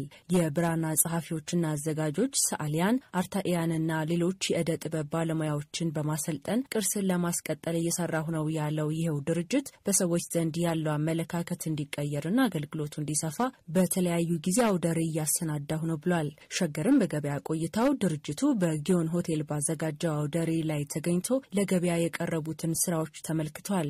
ለገበያ የቀረቡትን የብራና መጽሐፍት ለማዘጋጀት የሚወስደው የጊዜ ገደብ ትንሹ ሶስት ወር ሲሆን ትልቁ መጽሐፍ ደግሞ ሶስት ዓመት እንደሚፈጅ የተናገሩት የድርጅቱ የሕዝብ ግንኙነት ባለሙያ የሽመቤት ሲሳይ እንደሚወስደው ጊዜና ጉልበት ዋጋቸው ውድ የሚባል አይደለም ይላሉ። በዚህም ትንሽ የሚባለው የብራና መጽሐፍ ከሁለት ሺ ብር ጀምሮ ሲሸጥ ትልቁ ደግሞ እስከ መቶ ሺ ብር እንደሚሸጥ ሰምተናል። የእንጨት ስዕሎችን በአባቶቻችን አጠራር የገበታ ላይ ስዕሎች ይሏቸዋል እና መጠናቸው ራሱ ትንሽ የሚባል አለ፣ በጣም ትልቅ የሚባሉ አሉ። እነሱ ዋጋቸው ይለያያል። ትንሽ የሚባለው እስከ 300 ብር የሚሸጣል። እየተለቀ ሲመጣ ደግሞ እንደ ዋጋቸው ከፍ እያሉ እስከ 20 ሺ ብር የሚሸጡ አሉ። በጣም ትልልቅ በእንጨት የሚሰሩ እነዚህ የገበታ ስዕሎች በጣም ተፈላጊ ናቸው። ሲሰሩ ምንድን የሚደረገው? እንጨቱ በእጅ እየተፈለፈለ ነው የሚሰራው። ከተፈለፈለ በኋላ ሰዓሊዎቻችን ብራና ሳይሆን በቀለም እዛው እንጨቱ ላይ ነው ስዕላቶች የሚሰሩት እና እንደዚህ አይነት ስዕላቶች ደግሞ ቤታችንም ከማስቀመጥ አንጻር እንደ ሌሎቹ የወረቀት ወይ የብራና ስዕሎች የሚጎዱ አይደሉም። በአብዛኛው እንደውም ከብራና ይልቅ የገበታ ላይ ስዕሎች ሰዎች ይመርጧቸዋል፣ ለአያያዝ አመቺ ስለሆኑ ማለት ነው። እዚህ አሁን ኤግዚቢሽን ላይ ይዘናቸው የመጣኑት ሶስቱ የነሐስ ስራዎች ወይም የወርቅ ወንጌል የምንላቸው ከዚህ በፊት ከሰራናቸው የስድስተኛ ስራዎቻችን ናቸው ማለት ነው። እርካሽ የሚባለው እስከ 50 ሺ ብር፣ 90 ሺ ብር ከዛ ደግሞ ትልቁ መቶ ሺ ብር ድረስ ነው የሚሄደው። የብራና ስራዎችን በስም ብቻ ቅርስ ነው በሚል ብቻ የሚያውቁት ሰዎች አሉ። የአንጥረኛ ስራም የአንጥረኛ ሙያም በውጭ የተሸፈነ ነው። ከውጭ የሚመጡትን ነገሮች ብቻ ነው ሰው የሚያውቀው። ሐመረ ብርሃን የብራና ስራ ድርጅት የብራና መጽሐፍትን ከማዘጋጀት ባለፈ የእደ ጥበብ ውጤቶችንም እያዘጋጀ ለገበያ እንደሚያቀርብ የሽመቤት ሲሳይ ተናግረዋል። የኢትዮጵያን ጥንታዊነት ከሚያሳዩ ቅርሶች መካከል አንዱ ነው የሚባለው የብራና መጽሐፍትና ስዕሎች ሃይማኖታዊ ቅርስ ብቻ እንዳልሆኑ መታወቁ አስፈላጊ ነው ብለዋል። የድርጅቱ የህዝብ ግንኙነት ባለሙያ ሙሉን ስራ የሚሰራው የእጅ ውጤቶችን ነው። ሲሰሩ በጣም አልፊ ናቸው። ግን ልክ እንደ ብራናው ተቋቋምንበት አላማ ስላለው በጣም የተወደደ ዋጋ ወይም የገነነ ዋጋ አድርገን አይደለም የምንሰራቸው። በማዕድናት የሚሰሩት ከብር ከነሐስ የምንሰራቸው ስራዎች ደግሞ በአንጥረኞች ነው የሚሰሩት። በጣም ውድ የሚባለው የብር ስራ ነው። ውድ ተባለ ከተባለ እስከ ሀያ ሺህ ድረስ ነው የሚሄደው ዋጋው የመጾር መስቀል የምንለው። ትንሹ የሚባለው ደግሞ አንድ ሺህ ብርና አምስት መቶ ብር የሚሸጡ የእጅ መስቀሎች አሉ። ሲሸጡ ዋጋቸው አነስተኛ ቢሆንም ልፋታቸው ግን በጣም ከዛ በላይ የሚያወጡ ናቸው። እንዲሁም ደግሞ አሁን ገበያው ላይ ብንሄድ ነሐስና ብር በጣም ውድ ነው። እሱን ለማግኘት በጣም ከባድ ነው። የሚሰሩት እያንዳንዱ ግብአቶች በግዢ ነው የምናገኛቸው። ጭቃ፣ ሰም በግዢ ነው የምናመጣው። ግን ዋጋችንን ቅናሽ አድርገን ነው እየሸጥን ያለን። እነዚህ በጠቅላላ ብርሃን ላይ የሚሰሩ ስራዎች አሁን በውጩ እየተሸፈኑ እየጠፉ ያሉ ስራዎች ስለሆኑ ቀስ እያለን ማህበረሰባችንን እየቀየርን ኢትዮጵያዊነታችንን በደንብ እንዲያየው መመለስ ስላለብን የገነነ ዋጋ ደግሞ አናደርጉበት። በነገራችን ላይ የብራና ስራዎች አሁን ብዙ ሰው የሚያውቀው ከቤተ ክርስቲያን ጋር ብቻ የተያዘ ነው የሚመስለው፣ ግን አይደለም። ብዙ ሰዎች አሁን በኢትዮጵያ ኦርቶዶክስ ተዋሕዶ እምነት የሌሉም ሰዎች ከመጽሐፍት ባሻገር የተለያዩ ጥቅሶች ያዙናል። የፊደል ገበታዎች ይገዛሉ፣ ስዕላቶች የሚገዙ አሉ፣ ጽሁፎች የሚያጽፉ ብዙ ሰዎች አሉ። እንደ ኢትዮጵያዊነታችንን እንደሚገልጸው ቅርስ ተብሎ ነው የኢትዮጵያ ቅርስና ጥበቃ የሚያውቀው። ሃይማኖት ላይ ብቻ አይደለም አጠንጥኖ የሚሰራው ሰው ግንዛቤው አሁንም የኢትዮጵያ ኦርቶዶክስ ተዋሕዶ ቤተክርስቲያን ስራ ብቻ ነው የሚመስለው። ግን ኢትዮጵያውያን አባቶቻችን ወረቀት ከመምጣቱ በፊት ነው ይህንን ነገር የሚሰሩት። ስለዚህ በእምነቱ ላይ ያልነበሩ ሰዎች የሚሰሩት ነበረ ማለት ነው። እነዚህ መጽሐፍትና ስዕላት ኢትዮጵያ በጥንት ዘመን ምን አይነት ስልጣኔ እንደነበራትና የሀገሪቱ ታሪክ ምን ይመስል እንደነበር የሚያሳዩ መሆናቸው የሚነገር ቢሆንም ከቅርብ ዓመታት ወዲህ ግን እንዲህ አይነት ስራዎች እየተዳከሙ መምጣታቸውን ሰምተናል። እንዲህ አይነቶቹ ጥንታዊ ቅርሶች ለዚሁ ችግር የበቁት በቂ ትኩረት ስላልተደረገባቸው መሆኑን የሚናገረው ሐመረ ብርሃን የብራና ስራ ድርጅት የብራና ስራዎች ታሪክ ብቻ ሆነው እንዳይቀሩና የወደፊት ትውልድም እነዚህን ስራዎች እንዲያስቀጥል ለማድረግ እየሰራሁ ነው ብሏል። እነዚህ የብራና መጽሐፍት አገልግሎታቸው እንዲሰፋ በዘመናዊ መንገድ ቴክኖሎጂዎችን በመጠቀም ማሰናዳት አይቻልም? የድርጅቱ የህዝብ ግንኙነት ባለሙያ የሽመቤት ሲሳይ ይህንን ብለዋል። የአባቶቻችንን ስራ ማስቀጠል ነው የኛ ስራ። ዘመናዊውም ነገር መጨመር አቅቶን አይደለም፣ የምንጨምራቸውም አሉ። ለምሳሌ አሁን መጽሐፍቶቻችን ላይ ምን እናደርጋለን? ድሮ ላይ መጽሐፍቶቹ ተደጉሰው ወይም ሽፋናቸው ተሰርቶ ካለቀ በኋላ ነጭ ሽንኩርት ነበር አባቶች የሚጠቀሙት። ያ የሚደረገው ለምንድን ነው? ቆዳው እንዲቆይ ባክቴሪያ እንዳይበላው፣ ሁለተኛ ደግሞ የማንጸባረቅ ነገሩ እንዲመጣ ነው። እሱን አሁን ነጭ ሽንኩርት እንጠቀም ቢባል በዚህ ጊዜ አይሄድም። ዘመኑን ስንዋጅ ምንድን ነው ያደረግነው? ቫርኒሽ። ያንን ሁሉ የሚተካልን ምንድን ነው? ቫርኒሽ መቀባት ነው። ስለዚህ በሱ ቀይረነዋል። ዘመናዊው ቴክኖሎጂ መግባት ያለበትን ነገር እንጠቀማለን። ቴክኖሎጂ ጎርቶን አይደለም። መቀጠል ያለበትን እናስገባለን፣ መቀጠል የለበትን ደግሞ እናስቀራለን። በዚህ መልኩ ነው እያጣጣመን የምንሄደው እንጂ ሙሉ በሙሉ ቴክኖሎጂ እንጠቀመው ካልንማ ብራና መመለስ አያስፈልግም ነበር ማለት ነው። የብራና አዘገጃጀትን ጨምሮ ሌሎች ቀደምት የኢትዮጵያውያን የእደ ጥበብ ስራዎችን ለማስጎብኘት ለማስተዋወቅና ወደ ገበያ ለማቅረብ ይረዳል ያለውን አውደሪ አሰናድቷል። በጊዮን ሆቴል የተዘጋጀው ይሄው አውደሪ እስከ ሚያዝያ 13 ቀን 2016 ዓ ም እንደሚቆይ ሸገር ተመልክቷል። የተከበራችሁ አድማጮች አሁን ሰዓቱ ወግ የምንሰማበት ነው። የውቤ ልሳን ወጎች አዘጋጁ ኢሳያስ ልሳኑ ነው ከሀገር አሜሪካ።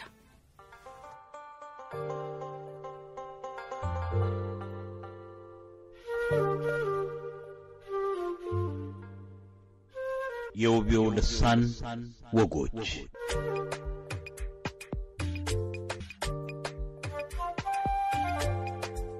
እንደምን ሰነበታችሁ? እውንም ቁልፉ የጠፋበት ቁልፍ አንዳንድ ግጥም ያፈላስፋል። መፍትሄ የሚሆነው ቁልፍ ተቆልፎበታል ሲል የገጠመው ገጣሚ ብዙ እንዳውጠነጥን ረድቶኛል። ርዕሴንም እውንም ቁልፉ የጠፋበት ቁልፍ ያልኩት ለዚሁ ነው። እምለው በየኪሳችን ያለውን ቁልፍ አስተውለው ነው እናውቅ ይሆን? ምን የሰው ምሳሌ መፈለግ ያሻኛል። በአንድ ኪሴ በኩል ባልዲ እንደያዘ ሰው አጉብጦኝ የሚሄደው የሚሸከመው ቁልፍ እኮ ነው። ቁልፎች ተብሎ ይነበብ። አንዳንዴ አውጥቼ ሳየው ከሶስት አስርታቱ ዓመታት በፊት አገሬን ስለቅ ይዤው የወጣሁት ቁልፍ ሁሉ ያለበት ይመስለኛል። ምን መሰላችሁ? ቁልፉን እንዳልጥለው ድንገት የተዘጋ ነገር ገጥሞኝ በኋላ ቁልፉን ጥየዋለሁ ብዬ እንድቆጭ አልፈለግኩም እና የቁልፍ አይነት ተሸክሜ ዞራለሁ። ቁልፉን ያስነሳ ታዲያ የመፍትሄ ነገር ነው። ችግር አለ ብለን ስናወጋ መፍትሄ ማቀናጀቱንም እያሳሰበን ቢሆን ቁልፍን አስታወሰኝ። ስነ ግጥም ከታሰበ አይቀር ቁልፉን የሚከፍት ቁልፍ የሚል ርዕስ ጥሩ ይመስለኛል የሚያልኩት ለዚሁ ነው። ሰው ያለውን ተሰጦ የሚሆን ችሎታ ወይም አቅም የሚያውቀው አንዳንዴ ሊያደርገው ሊፈጽመው ሲነሳ ይመስለኛል። አሁን ባለፈው ሰሞን አንድ ወዳጄ ላይን ያዝ ሲያደርግ ከአንድ ቦታ ወጥቶ መኪና ወደ አቆመበት ጋራጅ ሲጓዝ ልዝረፍ የሚል አጋጥሞት ግብ ግብ ይገጥመዋል። ወዳጄ ግንባሩና ጭንቅላቱን ለቴስታ ለመጀመሪያ ጊዜ ይጠቀምበታል። ከቶም ቴስታ መቻሉን ያወቀው ያኔ ነበረ።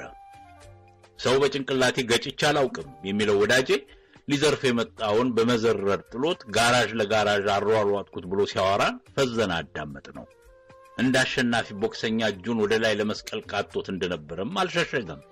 በነገሬ ላይ እዚህ ሀገር ከችርቻሮ መደብር ሊሰራ የተቀጠረ ወዲያው ከሀገር ቤት እንደወረደ የገባ የሰፈር ልጅ hands up ካሉህ አታንገራግር፣ አትፎክር፣ እጅህ ወደ ላይ አድርገ የገንዘብ ሳጥኑን ክፈትላቸው ሲባል ይመከራል። አንድ ሱቅ ሊሰራ ገብቶ እዛ ሱቅ በተቀጠረ ማግስት ገበያተኞች አመሻሹ ላይ እያወሩ ወደ ሱቁ ይገባሉ እያውካኩ በሰላምታ አይነት what's up ቢሉት ሁለት እጁን ሽቅብ አምላኩን እንደሚማጸን ባህታዊ ዘርግቶ ያሻችሁትን ውሰዱ ያለውን አስታውሼ ስቅ ያለው የእኔ ነገር ሰው ስጦታውን የሚያውቀው በአጋጣሚ ነው ለሚለው ምሳሌ ስዛብር ያንን ቴስታ መቻሉን ያላወቀውን ወዳጄን አንስቼ ወደ ሌላ ነጎድኩባቸው እና ሳያውቀው ችሎታውን አወቀው ይባላል። ይህን ሲባል ታዲያ ወዳጄን ቴስታ ችላለሁ ብለህ የቆርቆሮ ሚስማርን በግንባር እመታለሁ ብለህ ጉድ እንዳትሆን ብየዋለሁ። በሉ ወጋ አይደል እንግዲህ ፈገግ ማለት ያስፈልጋል። ሕይወት አጭር ናት። እዚህ ሀገር ብዙ ችሎታና እውቀት ተደብቆ ቀርቷል የሚሉ ብዙ ናቸው። አሜሪካ የጋን መብራት ነው የሚባል ጋኑ ካልተሰበረ አይታይ ብርሃኑ። እንደውም እችላለሁ ብሎ ጩኸቱ የደመቀው ድምፁ የገነነው አደባባይ ላይ የሚታየው ብዙ አናሳው ደቃቃ ነው የሚል ሐሜትም አለ። ደግሞ ማህበረሰቡ ሁሉንም ሙያና እውቀት ያለው ይፈልጋል። የተሸከሙትን እውቀትና ችሎታ ማህበረሰብን ካልጠቀሙበት ይዘውት ወደ አፈር እኮ ነው። አንዱ በሌላው ነው የሚጠቃቀም በማህበራዊ ኑሮ ውስጥ። ከዚህ ጋር ያለው ችግር የማይችለው በሁሉም ዘርፍ ጨርሶ አበላሽቶብን ውሉ ሳይጠፋ የሚያውቀው ከመጋረጃ ከቤቱ ቢወጣ የሚል ጸሎት ያስፈልገናል። አስከትዬ አብነት የማድርገው ማጋጠመኝ ይኖረኛል። ከአንድ ልቅሶ እዝን ተቀምጠን ብዙ የማውቀው ሰው እየሞተ ነው፣ ምን እንደገባ እንጃ እላዋለሁ ለአንድ የሳን ፍራንሲስኮ ለሚገኝ ጓደኛዬ በስልክ። አይ ሰው አሁን አይደለም መሞት የጀመረው ብሎ ጀመረ። አንተ ድሮ ልደት ነበር የምትጠራ፣ እንግዲህ ዕድሜ ሲገፋ ደግሞ የቀረብከውን ወሬን የምትሰማ ብሎ አስደነገጠኝ። ጠላቴ ደንግጥ በሉልኝና ታዲያ ከዛ ለቅሶ ቤት አረፍ ብለን ስንጫወት የገጠመኝን ነገር ላንሳላችሁ። እዛ በየለቅሶ ቤቱ የበሽታ ነገር ሁሌ ይነሳል። ደግሞ ስለ ስኳር በሽታ እዚህ አሜሪካ ሁሉም እንደፈራ ነው። ይህንን ስኳር ደግሞ አብሮኝ የነበረ ጓደኛዬ ሐኪም አይቶ አያውቅም። ምልክቶቹ በተነገሩ ቁጥር ጎን ላይ ይወጋል ወይም እንዲህ ያደርጋል ሲሉት ራሱን ሲመራመር በጎንዮሽ እያየሁ ታዝቤዋለሁ። አንድ የማናውቀው ወጣት ታዲያ ስለ ስኳር በሽታ research እንዳደረገ ሐኪምም እንደሆነ አይነት ነው የሚናገረው። በዚህ አጋጣሚ ደግሞ አብሮን የተቀመጠ የሕክምና ዶክተር ልዩ ምልከታው የስኳር በሽታ የሆነ እጁን አጣምሮ እንደኛ ይሰማል። ያ ወጣት ይለዋል ወጉን እንዲህ ማድረግ ነው እንዲህ አታድርጉ እያለ ሳለ አረጋዊው ልጄ ዶክተር ነህ አሉት። አይደለሁም ይላል ፈርጠም ብሎ። እነዚያ ኢትዮጵያ አዲስ አበባ በተቀደደ ካርቶን ላይ በእርሳስ ተጽፎ ጨጓራ፣ ጉበት፣ አባላዘር፣ ጉንፋን ወዘተርፈ በሽታ እናክማለን ብለው የለጠፉ መድኃኒት እናውቃለን የሚሉትን ትዝ አለኝና ፈገግ አልኩኝ። እርሳቸው እኮ የዚህ በሽታ ዶክተር ናቸው ይሉታል አረጋዊ መልሰው። ቢሆኑስ ምን ችግር አለው ብሎ ቀጠለ። ታዲያ በእንዲህ መሰል ሁኔታ አዋቂዎች ተሸሽገው ይቀራሉ። አፈላማው ሲበረታ መድረኩን ትተው አለሙያው የገባው ሲያበላሸው እያዩ ደግሞ ዝም አለ ስራ የምትል ሴት ነበረች እማውቃት። ሌላ ምን ታዘብኩ መሰላችሁ? የቲፎዞ አይነት ዘዬ ዘልቆብናል። ቤተ ክርስቲያን እንኳን እልል ሲባል እኛ የምናውቃት ካልጀመረች ሌላውን ተከትለን እልል አንልም አሉ። ስንስቅም የምናውቀው ካልሆነ ሳቅ ምን አባቱ ብለን እርፍ ብለናል። መልካም ስራን ከማየትና ከማድነቅ ወይም አይዟችሁ ከመባባል ይልቅ ማን ሰራው፣ ማን የሰራው፣ ማናታ ያለችበት እንላለን የሚባለው እውነት ይሆን እንዴ? አያድርግብን ማለት ነው። መዋደድም አጋር መሆንም ሰውኛ ቢሆንም በውር ድንብሩ ሁሉ ሰው ሲጓዝ ተው ማለት እየተቻለ ግፋ በለው ማለት ይዞ ነው የሚጠፋ። ደግሞ ችግሩ ምን መሰላችሁ? ይሄ የክሊክ ነገር አንድ ቦታ ላይ አይቆምም። አንዱ ሲሰነጠር ሌላው ይከተላል። እያለ እያለ ሰውን ለየብቻ ወይም ሁለትና ሶስት አድርጎ የጋራ ነገር ያጠፋል። ቤተ እምነቱ እንኳን እንትና የቀጭኑ ጨርቆስ ነው፣ ያኛው የጭቁኑ ኢየሱስ እየተባባለ ጎራ የሚለይበትም ላይ ያተኩራል። ምን ታቦት ለይቶ አይደለም እንደ ፖለቲካ ድርጅቱ ስሙ ያው ሆኖ ቁጥር እየገባበት የተለየንም ማለትም ተጀምሯል። ቁጥር አንድ ማርያም፣ ቁጥር ሁለት ማርያም እንደሚባለው ማለቴ ነው። የሚያሳዝነው ከዚሁ ከተመናመነ የስደት ቁጥራችን ተከፋፍለንበትና ቡድን ቦድነንበት ቀርቶ እንደውም አሉ ስንባል አለመኖራችን፣ ቆሙ ሲሰኝ መውደቃችን እኮ የበዛ ነው። ነገሬን ልጨርስ አሰብኩኝ።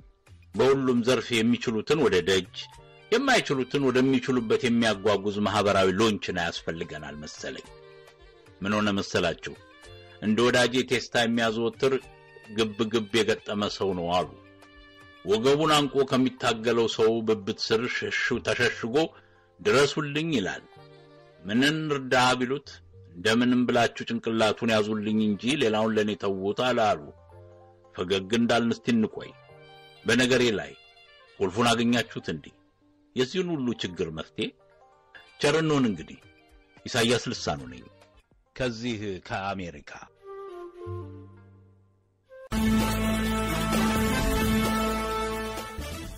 አድማጮች አሁን ወደ ሐኪሙ መልእክት ዝግጅታችን ልናልፍ ነው። በዛሬው የሐኪሙ መልእክት የጀርባ ህመም ሕክምናን ትሰማላችሁ። መልእክቱን የሚነግሩን በፓራጎን የፊዚዮቴራፒና ስፖርት ሕክምና ስፔሻሊስት ልዩ ክሊኒኮች ውስጥ ስራ አስኪያጅና medical ዳይሬክተር የሆኑት ዶክተር ቴዎድሮስ ወልደ ገብርኤል ናቸው። የህይወት ዋስትናን ነገ ሳይሆን ዛሬውኑ ለቤተሰብ የሚያበረክቱት የፍቅር ስጦታ ነው። የህይወት ዋስትናን ከአዋሽ ይግዙ። አዋሽ ኢንሹራንስ ከእርሱ ጋር ነው ተብላችኋል። ወደ ዝግጅቱ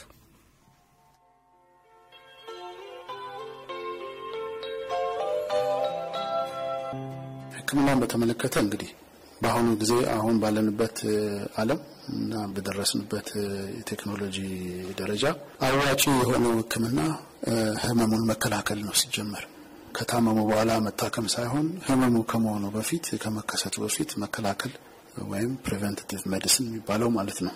እነዚህ የጀርባ በሽታ ብለን የምንላቸውን ማለት ነው ከሌላ ቦታ ያልመጡትን ነገሮች መከላከል የምንችለው የሰውነት የአካል ብቃትን መጠበቅ የስራ ቦታዎችን አመቺ ማድረግ ለሰውነታችን። ሌላው ደግሞ በየጊዜው የህክምና ምርመራ ማድረግ ነው።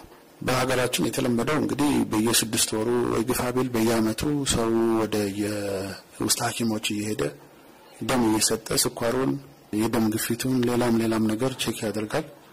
ግን የውጭ አካሉን check የሚያደርግ ሰው የለም። የውጭ አካል ብዬ ስል እንግዲህ ጡንቻውን፣ ነርቮቹን፣ የመጋጠሚያዎቹን ጤንነት የአከርካሪ አጥንቶችን ሁኔታ ሄዶ የሚያስመረምር ሰው የለም፣ ወይም አለም ከተባለ በጣም ጥቂት ነው።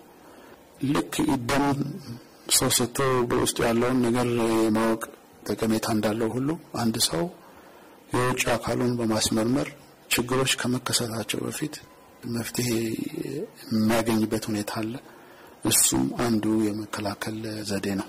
የአካል እንቅስቃሴዎች በማድረግም የሰውነትን የጡንቻም ጥንካሬ በመጨመር ለጉዳት የሚዳርጉ ነገሮች ሰውነት ላይ ጉዳት እንዳያመጡ ማድረግም ይቻላል። ቅድም እንዳልኩትም የስራ ቦታዎችን አቀማመጥ በተለይ ቢሮ ውስጥ የአቀማመጥን የጠረጴዛውን አቀማመጥ የወንበሩን ሁኔታ የኮምፒውተሮቹን አቀማመጥ ሁሉ በማስተካከል ከዛ የሚመጡ ነገሮች ወይም ጤናን ሊያውኩ የሚችሉ ነገሮችን መከላከል ይቻላል። ከመከላከል አንጻር ሕክምናን በተመለከተ እንግዲህ አሁን ቅድም መገለጽኩት እያንዳንዱ ችግር የራሱ የሆነ ሕክምና አለው። መጀመሪያ ደረጃ ሕክምና ከመደረጉ በፊት አንድ ሰው ትክክለኛ ቦታ ሄዶ ችግሩ ምን እንደሆነ ማወቅ አለበት። ያ ማለት በዚህ የስራ ልምድ ያላቸው ወይም ደግሞ የትምህርት ያላቸው ስፔሻሊቲ ያላቸው የሕክምና ባለሙያዎች ሄዶ ችግሩ ምን እንደሆነ ከታወቀ በኋላ ወደ ሕክምና ይኬዳል። ይህንን ስልህ መጥቀስ የምፈልገው ማህበረሰቡ ለራሱ ጤንነት ኃላፊ እንደሆነ ሁሉ የሚሄድበት ቦታ ሄዶ የሚያያቸው ባለሙያዎች ትክክለኛ የሆነ የሕክምና ልምድ አላቸው፣ ትምህርት አላቸው ወይ? ከአስፈላጊው የሀገሪቷ የመንግስት ተቋም ፍቃድ ተሰጥቷቸዋል ወይ? በዚህ ነገርስ በዚህ ስራ ላይ ምን ያህል ጊዜ ልምድ አላቸው? የሚሉትን ነገሮች አጣርተውና ተገንዝበው ነው አገልግሎትን ማግኘት ያለባቸው። ወደ ሕክምና ባለሙያዎች ሲሄዱ እነዚህ ነገሮች መመልከት አለባቸው። በተለይ ደግሞ አንዳንድ ጊዜ ቤት ውስጥ እየመጣን ሕክምና እንሰጣለን የሚሉ ሰዎች አሉ። እነዚህ ሰዎች ግለሰቦች ቤት በሚሄድ ሕክምና በሚሰጡበት ጊዜ ከሚመለከታቸው የመንግስት ተቋማት የሚያስፈልገው ሕክምና ፍቃድ አላቸው ወይ፣ እውቅና አላቸው ወይ፣ ልምዳቸውስ ምንድን ነው የሚሉትን ነገሮች በደንብ አድርጎ ተጠቃሚው ህብረተሰብ ማወቅ ይገባዋል። የምንሄድበትን ቦታ የምንታከምበትን ቦታ መርጠንና አይተን ፈቅደን መጠቀም ያለብን እኛንን መንግስት አካላትም በዚህ ቦታ ላይ ኃላፊነት ቢኖርባቸውም ማለት ነው ፍቃድ የመስጠት የህክምና ባለሙያዎቹን መዝነው ፈልገው በየቦታ የማሰማራት ኃላፊነት ቢኖርባቸውም እኛ ደግሞ እንደ ህብረተሰብ የምንጠቀምበትን ክሊኒኮችም ወይም ግለሰቦች ተአማኒነት ማየት አለብን። እሱ አንዱ ነገር ነው። ዶክተር ቴዎድሮስ ወልደ ገብርኤልን እናመሰግናለን። የህይወት ዋስትና ነገ ሳይሆን ዛሬውኑ ለቤተሰብ የሚያበረክቱት የፍቅር ስጦታ ነው። የህይወት ዋስትናን ከአዋሽ ይግዙ። አዋሽ ኢንሹራንስ ከእርሶ ጋር ነው።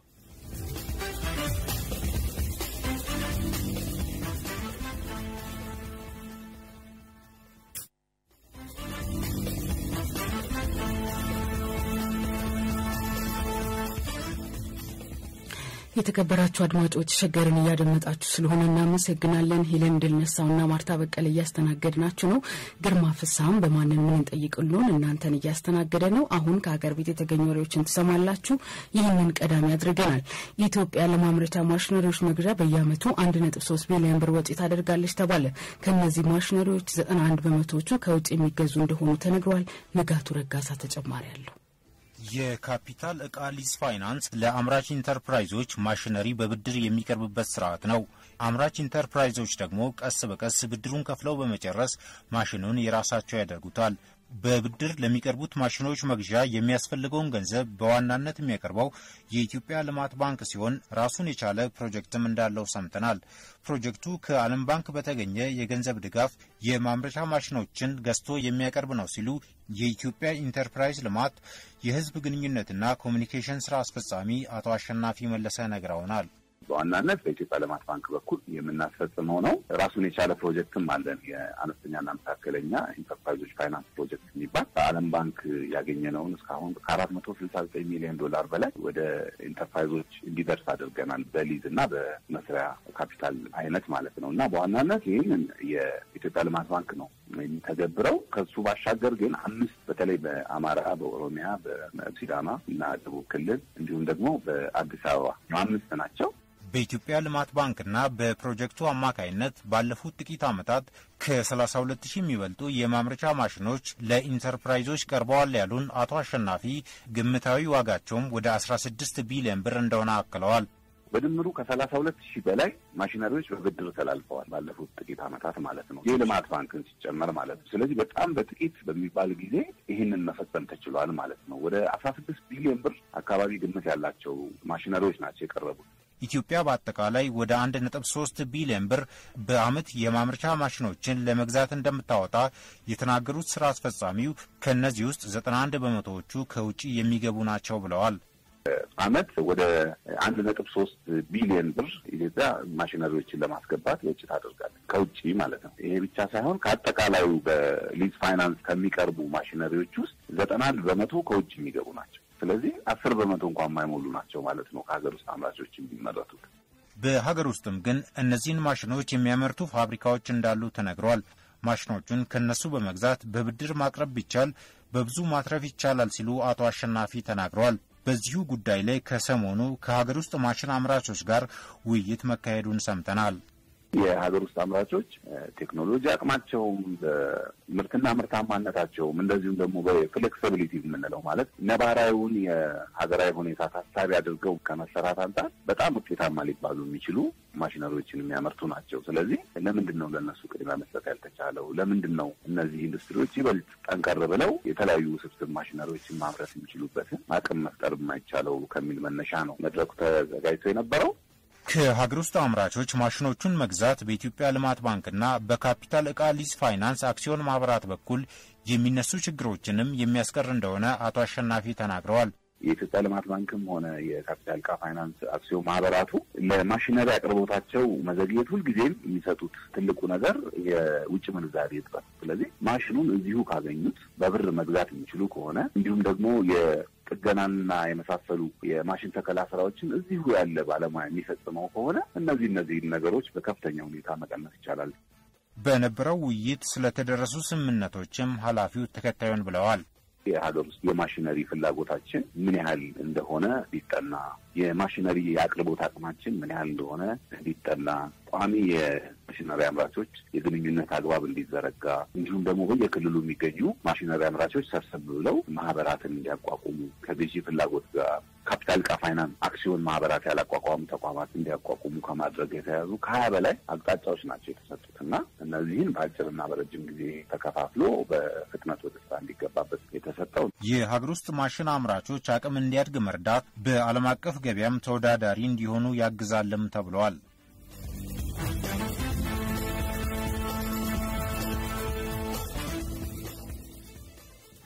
ወደ ሌላኛው የሀገር ቤት ወሬያችን እንለፍ። በኢትዮጵያ በካንሰር በሽታ የሚያዙና ሕይወታቸው የሚያልፉ ሰዎች ቁጥር እየጨመረ መጥቷል።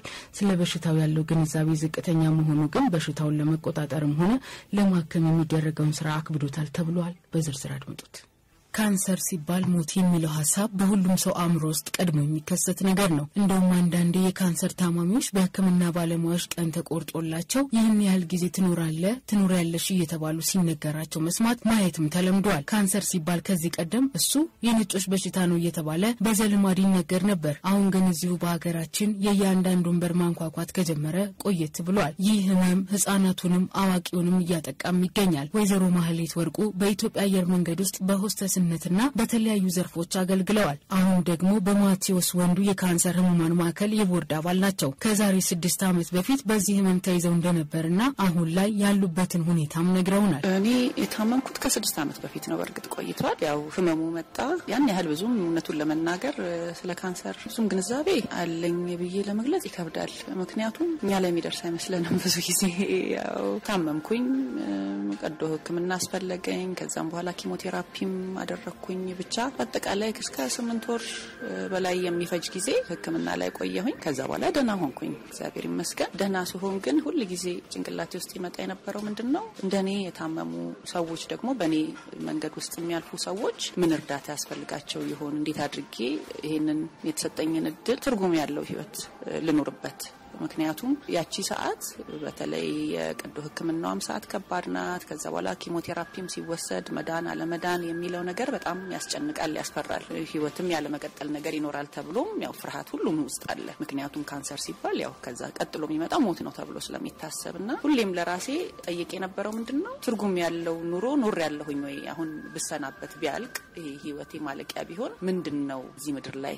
ያበረከትኩት ነገር ለራሴ ከመኖር ባለፈ ለቤተሰቤ ወይ ልጆቼ ከሚለው ውጪ ሌላውንስ በምን አይነት ሁኔታ ረድቻለሁ የሚለው በጣም ጭንቅላቴ ውስጥ ይመላለስ ነበር። ስለዚህ ለራሴና ለእግዚአብሔር ቃል የገባሁት ምንድን ነው ይህንን ህመም አልፌ ወደ normal ህይወት ውስጥ ከገባሁኝ እንደኔ ህመም ላይ ያሉ ሰዎችን መርዳት እፈልጋለሁኝ ብዬ ነበር። አቶ ወንዱ በቀለ የማቴዎስ አባትና የድርጅቱ መስራች እንዲሁም በማቴዎስ ወንዱ የካንሰር ህሙማን ማዕከል ዋና ስራ አስፈጻሚ ናቸው። ልጃቸውን በዚህ ህመም ካጡት በኋላ ሌሎች ማቴዎሶችን ለማዳን እንዳቋቋሙትም ነግረውናል። ይህ ማዕከል ከአዲስ አበባ በተጨማሪ በአማራ፣ ኦሮሚያ፣ አፋር እና ሌሎች አካባቢዎች ላይ ከአጋር ድርጅቶች ጋር በመሆን በስሩ 164 ህሙማንን በመያዝ እየሰራ እንደሆነ አቶ ወንዱ በቀለ ነግረውናል። የምንሰራው ስራ ኦሮሚያ ላይ እንሰራለን፣ ሙከጦሬ ላይ ቅድም እንደነገርኩሽ አዲስ ዘመን ላይ እንሰራለን። ፕሮጀክቶቻችን እንግዲህ የኛ ለየት የሚያደርገው ምንድን ነው? ከአጋር ድርጅቶች ጋር ነው የምንሰራው። ለምሳሌ አፋር ላይ ስንሰራ አፋር ላይ የሚሰራው አምሬፍ ነው። አምሬፍን ነው እኛ የምንቀናጀው እና የምንደግፈው። ኦሮሚያ ላይ የሚሰራው ኳም ነው። ወሊሶና አካባቢው ላይ ነው የሚሰራው። ከእነሱ ጋር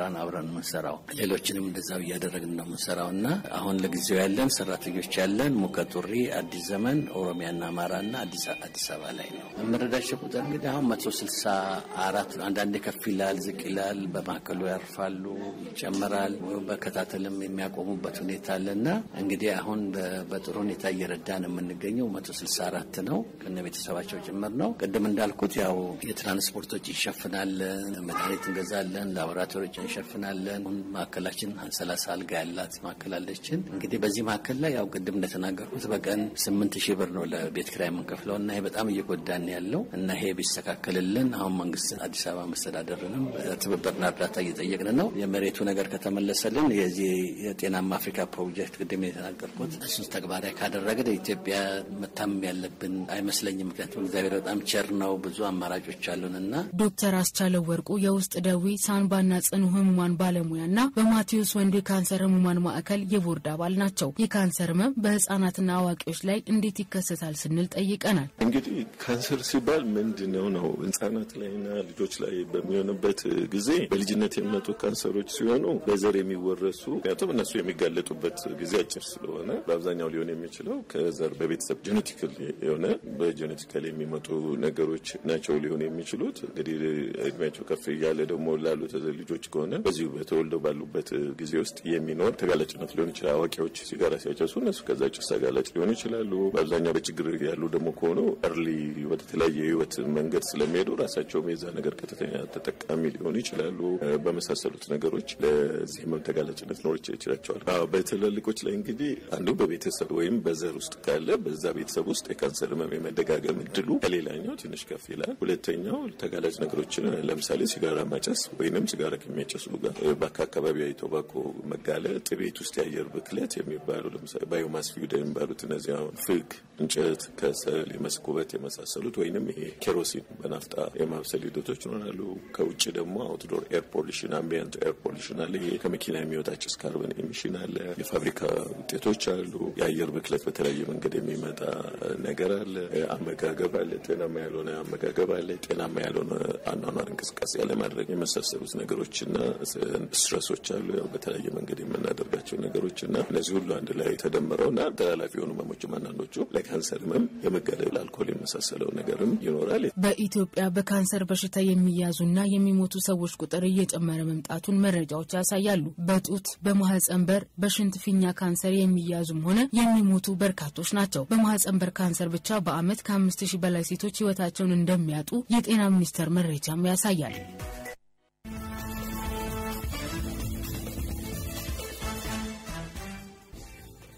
የተከበራችሁ አድማጮች ከማለዳው ጀምሮ በ0111275454 ላይ ደውላችሁ ይጠየቅልን ባላችሁት መሰረት አዘጋጁ ግርማ ፍሳ የሚጠየቀውን ጠይቆላችኋል። በዛሬ ማንን የምንጠይቅሉ ብዙ ጊዜ ስንደውልላቸው ከማይገኙ ተቋማት መካከል አንዱን ዛሬ ግርማ አግኝተዋል። ማንን የምንጠይቅለውን አዲስ ኢንተርናሽናል ባንክ ነው እንድትሰሙለት የጋበዛችሁ። የተከበራችሁና የተወደዳችሁ አድማጮቻችን የዛሬ ጉዳያችን በዚህ በማንም እንጠይቅለውም ሆነ በወሬ ሰዓታችን ብዙ ጊዜ ልናገኛቸውም ልናገኛቸው ሞክረን ሳናገኛቸው ቀረን ካልናቸው ተቋማት መካከል አንዱ የሆነውን የአዲስ አበባ ሴቶች ማህበርን ይመለከታል። ዛሬ ማለዳ ላይ አንድ ቅሬታ ቀረበና ለዛ ቅሬታ ምላሽ እንዲሰጡኝ ወደ ማህበሩ ሊቀመንበር ደወልኩኝ። ወይዘሮ እናት አለም እንዳለ ይባላሉ። አግኝቻቸዋለሁኝ። ከእሳቸው ጋር ለተወሰኑ ደቂቃዎች ቆይታ አድርጋለሁ። ጤና ይስጥልኝ ወይዘሮ እናት እንደምናደሩም? እግዚአብሔር ይመስገን። ወይዘሮ እናት እርስዎ የአዲስ አበባ ሴቶች ማህበር ሊቀመንበር ኖት? መልካም። ብዙ ጊዜ እኔና ባልደረቦቼ እናንተ ጋር ስንደውል ስላላገኘናችሁ አግኝተናችሁ አናውቅም። ከዛም ባሻገር በአካል የምንመጣ እንደዚሁ አልተገጣጠምንም ወይም አላገኘናችሁም። ወይዘሮ እናት የአዲስ አበባ ሴቶች ማህበር አላማው ምንድን ነው? አላማው በዋናነት የጾታ ማህበር ሆኖ የተደራጀ ስለሆነ በአስራ ዘጠኝ ዘጠና ላይ የሴቶችን ተሳትፎ ማጎልበት ሂደት ውስጥ ተጠቃሚነታቸውን ማረጋገጥ ነው። ተጠቃሚነታቸውን ስፔሻሊ በኢኮኖሚ ዘርፍ በማህበራዊና በፖለቲካውም ፊት ሆነው እንዲሳተፉ የማድረጉን ስራ ግንዛቤ በማስጨበጥም እየሰራ ያለበት አግባብ አለ። እሱ ነው ዋናው አላማ። የጾታ ማህበር ነው። የሴቶችን ሁለንተናዊ ተጠቃሚነት ማረጋገጥ አላማችን ነው ብለውኛል። ምን ማለት ነው? ሁለንተናዊ ተጠቃሚነት ማረጋገጥ ወይም መደገፍ ማለት ድጋፍ እንዲያገኙ ይሰራል ማለት ግንዛቤ በማስጨበጥ አግባብ ማለት ነው። የመጀመሪያ መንግስት በሚሰጣቸው የስራ እድል ፈጠራዎች አሉ አይደለም፣ እሱን እንዲያገኙ ግንዛቤ ይፈጥራል። ያሉ አማራጭ የስራ እድል አማራጮችን እንዲጠቀሙ ያሉ አማራጮች የት ጋር ምን አለ የሚለውን ግንዛቤ በመፍጠር ሂደት ውስጥ እሱም በዋናነት ትኩረት አድርጎ የሰራ ተቋም ነው። ድጋፍ እንዲያገኙ ደግሞ ይሰራል። ቢያንስ ኢኮኖሚ አቅም የሌላቸው እንዲደግፋቸው ውጤታማ ይሆናል የሚለውን እሱን ስራ ከሰራ በኋላ ድጋፍ እንዲያገኙ ያደርጋል። ቅድም በማህበራዊ ዘርፍ ብያለሁ። ሁለንተናዊ ድጋፍ ውስጥ የሚያካትተው ማህበራዊ ነው። በምን አይነት ሁኔታ ድጋፍ እገዛ እንደምታደርጉ የሚለውን በምሳሌ ሊያስረዱኝ ይችላሉ? ለምሳሌ ጥቃት የደረሰባት ሴት የህግ ድጋፍ እንድታገኝ የማህበራዊ ችግሯ እንዲፈታ ያደርጋል። የትምህርት እድል እንድታገኝ የድጋፍ አግባቦችን ያመቻቻል። ከጤና አንጻር ከጤና ተቋም ጋር እንደ አንድ ባለ ድርሻ ሆኖ ይሰራል። እነዚህ እነዚህ ናቸው ማዕከል አድርገን የምንንቀሳቀስባቸው ሁለንተናዊ ስል እነዚህን ያማከሉ ናቸው ስራዎቻችን ልልናል። ማህበሩ የሚተዳደረው በመንግስት ድጋፍ ነው ወይስ ገለልተኛ ማለት መንግስታዊ ያልሆነ ተቋም ነው? አይ መንግስታዊ ያልሆነ ተቋም ነው። የተደራጀውም ነጻ ሆኖ በሁሉም መስክ የሴቶችን እኩል ተሳታፊነት በማረጋገጥ ሂደት ውስጥ የሴቶችን አባልነት ነው ማዕከል ያደረገው። ድጋፉም ከዛ ነው የሚመነጨው ማለት ነው። እያንዳንዱ ሴት በሚያዋጣው መዋጮ ስለሆነ የመንግስት ድጋፍ ሳይሆን መንግስት በሚያመነጫቸው ፖሊሲዎች ተጠቃሚ እንዲሆኑ የሚሰራው ከመንግስት ጋር እንደ አንድ ባለ ድርሻ አካል እንጂ ከመንግስት በቀጥታ የሚያገኘው በጀትድ የሆነ ተቋም አይደለም። ወይዘሮ እናት አላማው ይሄ ከሆነ ከአላማው ጋር የማይስማማ ነገር እናንተ ጋር እየተሰራ ነው ለማለት እደፍራለሁ። ይህን የምልበት ምክንያት በዚህ ማለዳ በዚህ ሰዓት የሚደውሉ በርካታ የአዲስ አበባ ከተማ ሴቶች አሉ። እናቶች፣ እህቶች ፍትህ ጎሎባቸው ተገፍተው የሚጮህላቸው የሚደግፍላቸው አጥተው ፍትህ ፍለጋ ብለው እኛ ጋር ይደውላሉ። ፍትህ ከሚያጎሉ ተቋማት መካከል ደግሞ አንደኛው እርስዎ የሚመሩት ለሴቶች ሁለንተናዊ ድጋፍ አደርጋለሁ ለዛ ነው የተቋቋምኩት የሚለው የአዲስ አበባ ሴቶች ማህበር ነው። ማስረጃ አቀርባለሁ ኋላ ላይ። እርስዎ ግን ለሴቶች ሁለንተናዊ ድጋፍ አድርገናል ብለው ሊያቀርቧቸው የሚችሏቸው ምሳሌዎች ካሉ እሱም ይነግሩኝ። አዎ ይሰራሉ። የቀድሞ አመራሮች እኔ በቅርብ ነው ወደ ፕሬዚደንትነት የስምንተኛ መደበኛ ጉባኤ ከተካሄደ በኋላ ነው የመጣሁት እና የቀድሞ አመራሮች ግን ይህን በትኩረት ሲሰሩ እንደነበረ መረጃዎች ያሳያሉ።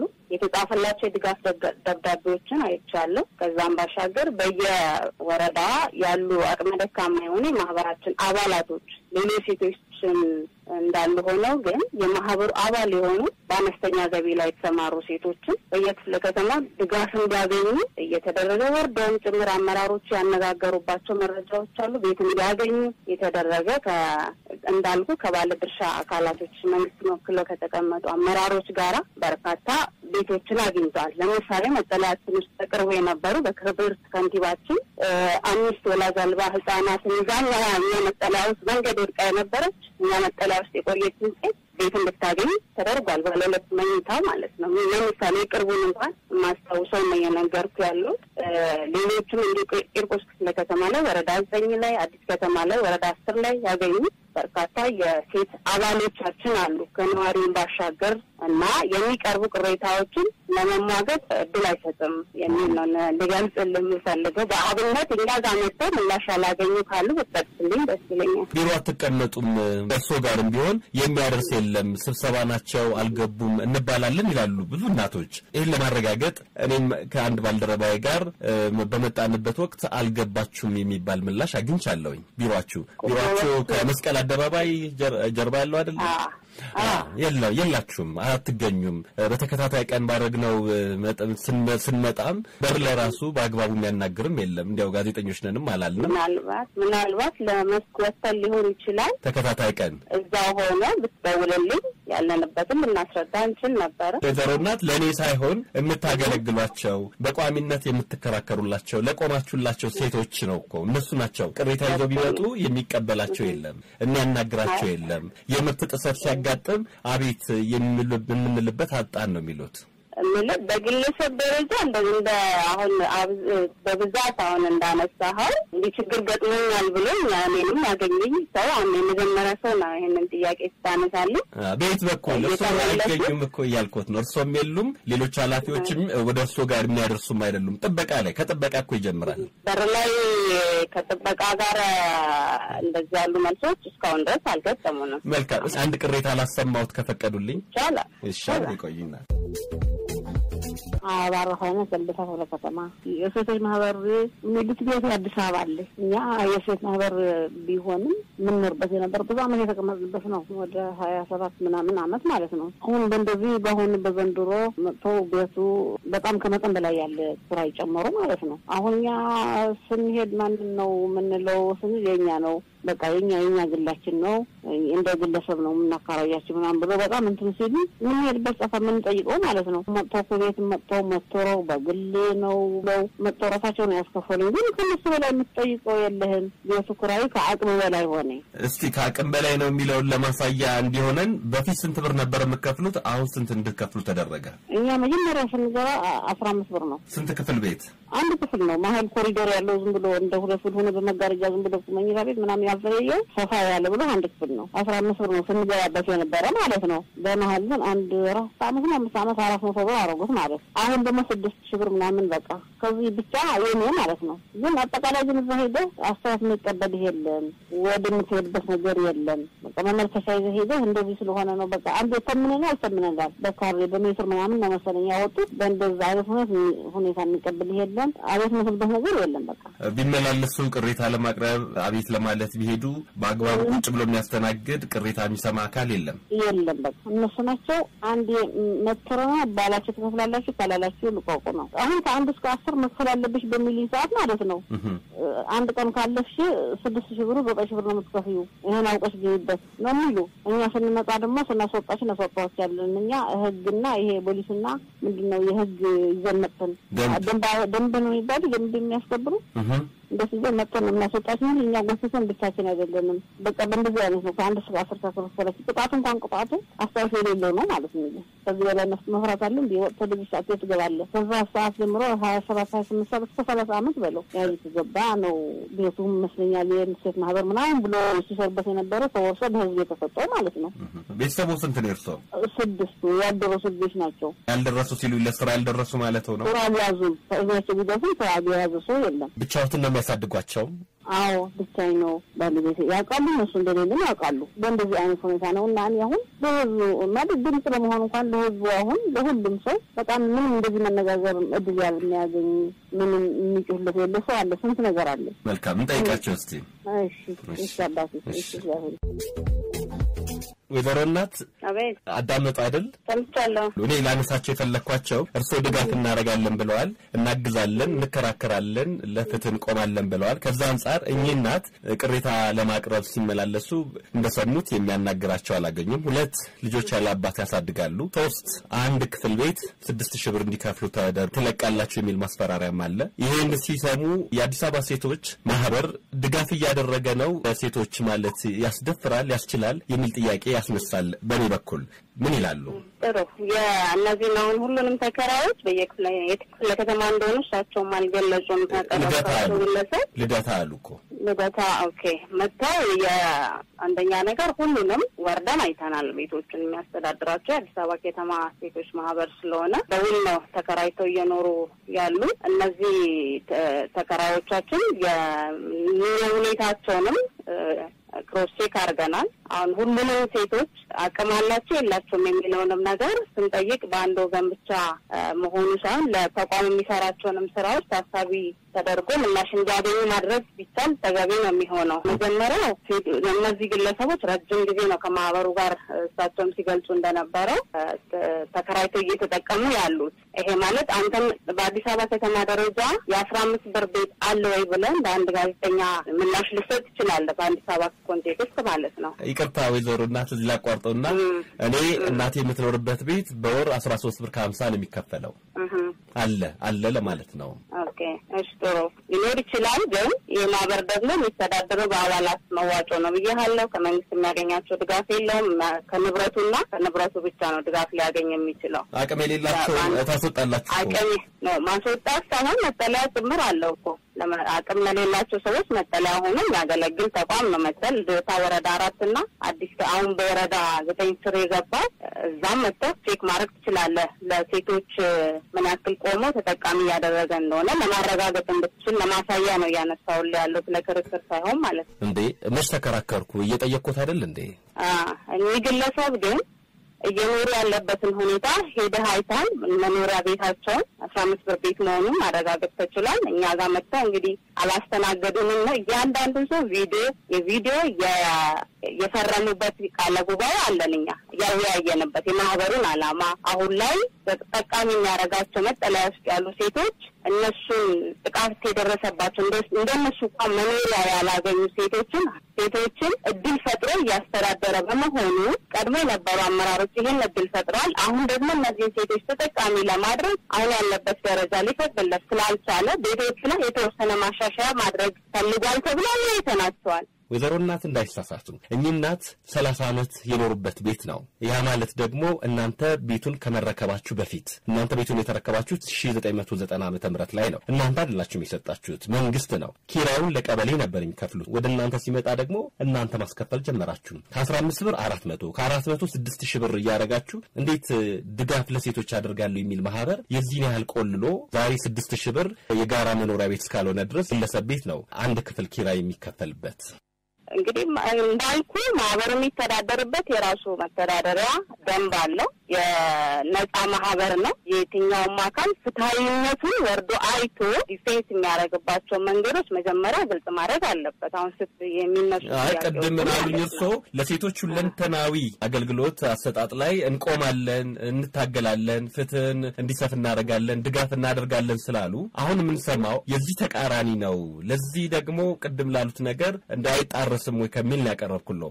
ሌላው ደግሞ እሳቸውም ብለዋል የማትፈርሚ ከሆነ በንጋታው ደንብና ሌላ አካል አስመጥተን እናስወጣሻለን ስላሉኝ ፈረምኩኝ ብለዋል። እሳቸውም አልካዱም። ይሄን ምል አሁን የተከራየን አካል ካለው ነባራዊ ሁኔታ ጋር ጫና ማህበሩ ላይ እየተፈጠረ ይህ ግለሰብ ደግሞ እንዳ እንግዲህ ሁለንተናዊ ሲባል እኮ ሁሉንም ሴቶች ማለት አይደለም ማለት ለሁሉም የአዲስ አበባ ሴቶች አይደል አቅም ያላቸው ሴቶች አሉ። ለምሳሌ አሁን አሁን የምትላቸው ግለሰብ አቅም አላቸው፣ የመኖር አቅም አላቸው። ቢያንስ ከነሱ በታች የሆነ ሰው እንኳን ገብቶ ተከራይቶ ሌላ አማራጭ እንኳን ቢፈልጉ ማግኘት የሚችሉ ግለሰብ ናቸው። አሁን ያነሳቸው እንዴት መቆም ይችላሉ? ባለቤታቸው የሉም፣ ለስራ የደረሱ ልጆች የሉኝም አሉ። ምናልባት እኚህ እናት ስራ ባለቤታቸው አለመኖሩን እርግጠኛ ነው። እንደውም ከኛ ጋር ተከራይቶ ተዋውሎ አሉ እኮ እሳቸው ስላሉ ሳይሆን አሁን በምንድን ነው አንተ ያረጋገጥ መጥቶ እኮ በየአመቱ ባለቤታቸው ነው እኛ ጋር ሲከፍል የነበረው። እርስዎ እንዴት አወቁ?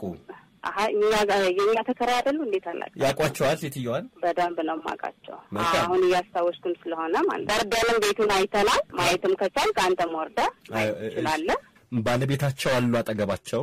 የለም ብለዋል በወቅቱ ማለት ነው። ከዚህ በፊት ግን ባላቸው መጥቶ ነው እኛ ጋር ሲከፍል የነበረው። ከእኛም ጋር ውል ያለው ባልየው ነው የነበረው። እሳቸው እኮ ያውቃሉ አሉ። እናንተን እኮ ያለውበትን ሁኔታ ያውቃሉ አሉ። ለአንተ እንደነገሩት ለእኛም ነግረውናል። ማረጋገጫችን ሊሆን የሚችለው በማስረጃ ሲያስደግፉ አይደለ አጠገባቸው የለም የሚለውን ማረጋገጥ የምንችለው ምን አይነት ማስረጃ ይቀርባል? ባል አጠገባቸው አለመኖሩን የለም ካሉ እናንተ ናቸው ሄዳችሁ የምታረጋግጡት እንጂ እሳቸው ምን ያቀርባሉ? በየአመቱ ሲመጡ የነበሩት ግለሰቡ ናቸው። ወርደ በህይወት ባይኖሩስ? ስናጠራ ነው በህይወት ስናጠራ በአካባቢው ወይ ባለቤታቸውን ፈተው ከሄዱ ቤቱን እሳቸው ስለሚከፍሉ በፍርድ ቤት ስም ዝውውር አድርገው ማምጣት ይችላሉ።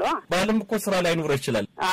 ላይኖር ይችላል። ግን እሱን ደግሞ በአሳማኝ ማስረጃ ሁሉም የቀረቡ ጥያቄዎች ተገቢ ናቸው ብለህ እየወሰድክ ነው አንተ ማለት ነው። እንደ አንድ ያው balance አድርገን እኔንም ብትጠይቀኝ ለመልሱ ትክክለኛ ወርደህም በአካል እኮ መነጋገር የምንችልባቸው አግባቦች ይኖራሉ አይደለ? በአንድ ወገን የቀረበን ጥያቄ ብቻ ሳይሆን ማህበሩም እየሰራ ያላቸው ማህበራዊ ችግሮች እንዴት እየቀረፈ እንደሆነ ይህ ሌላ አጀንዳ ነው። ምናልባት ሰርታችሁ ከሆነ በጎ ተግባር በማሳያ በማስረጃ አስደግፋችሁ የምት- የምትናገሩት ነገር ካለ ሽፋን ይሰጣል። አሁን ግን ከቀረበው ጥያቄ ከገጠመኝ ካየው ተነስቼ ነው ጥያቄ እያቀረብኩት ያለው። ደግሞስ መከራከር ከሆነ ከኔ ይልቅ የእርሶ ማህበርና እርሶ አልነበሩ መከራከር ከኔ ይልቅ እርሶ ወይም ማህበሮት አልነበረም ለእኚህ እናት መቆም መከራከር ሳይድ መያዝ የነበረበት እኛ ልክ ነህ። እንዲያው እንደዚህ ከሆነ እኔም በቦታው ሊሂድ እርሶ ባሉበት የግለሰቧን ሁኔታ አብረን ብናይና ለህዝብ ባሳወቅ ደስ ይለኛል ከፈቀዱ እንችላለን እንችላለን። መቼ መቼ መቼ ሌላ ፕሮግራሞችን መደዋወል እንችላለን። አሁን በኋላ ይቻላል። አላረጋግጥ ወይዘሮ እናት አለም እንዳለ የአዲስ አበባ ሴቶች ማህበር ሊቀመንበር በጣም አመሰግናለሁ መልካም የስራ ቀን ይኑለው እኔም አመሰግናለሁ።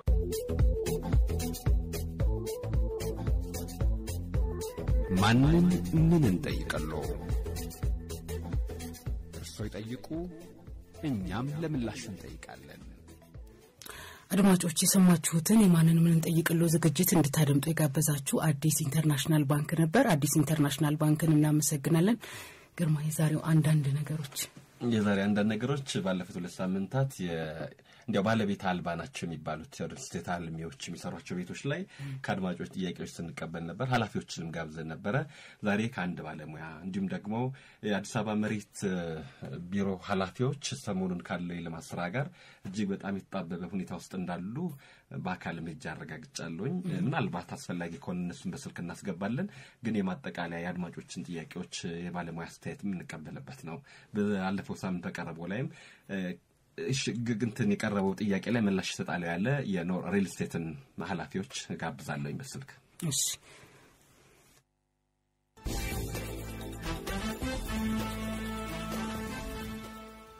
አድማጮች የማለዳ ወሬዎቻችን መደምደሚያ ወደ ሆነው ታሪክን የኋሊት እናልፋለን። እሸት ያሰፋ አዘጋጅቶታል። ንጋቱ ሙሉ ይነግራችኋል። ታሪክን የኋሊት የሂሳብና የፊዚክስ ሊቁ አልበርት አንስታይን ከሊቅነትም በላይ በሊቀ ሊቃውንትነቱ ይታወቃል። ይሄ ስሙም ዝናውም ሥራውም የገዘፈ ሊቅ በ76 ዓመቱ ከዚህ ዓለም በሞት የተለየው የዛሬ 69 ዓመት ልክ በዛሬው ዕለት ነው። አነስታይን ከይሁዳዊ ቤተሰብ የተወለደው ጀርመን ውስጥ ነው። ሕፃን ሳለ አባቱ የአቅጣጫ ማመልከቻ የኪስ ኮምፓስ ያሳየዋል።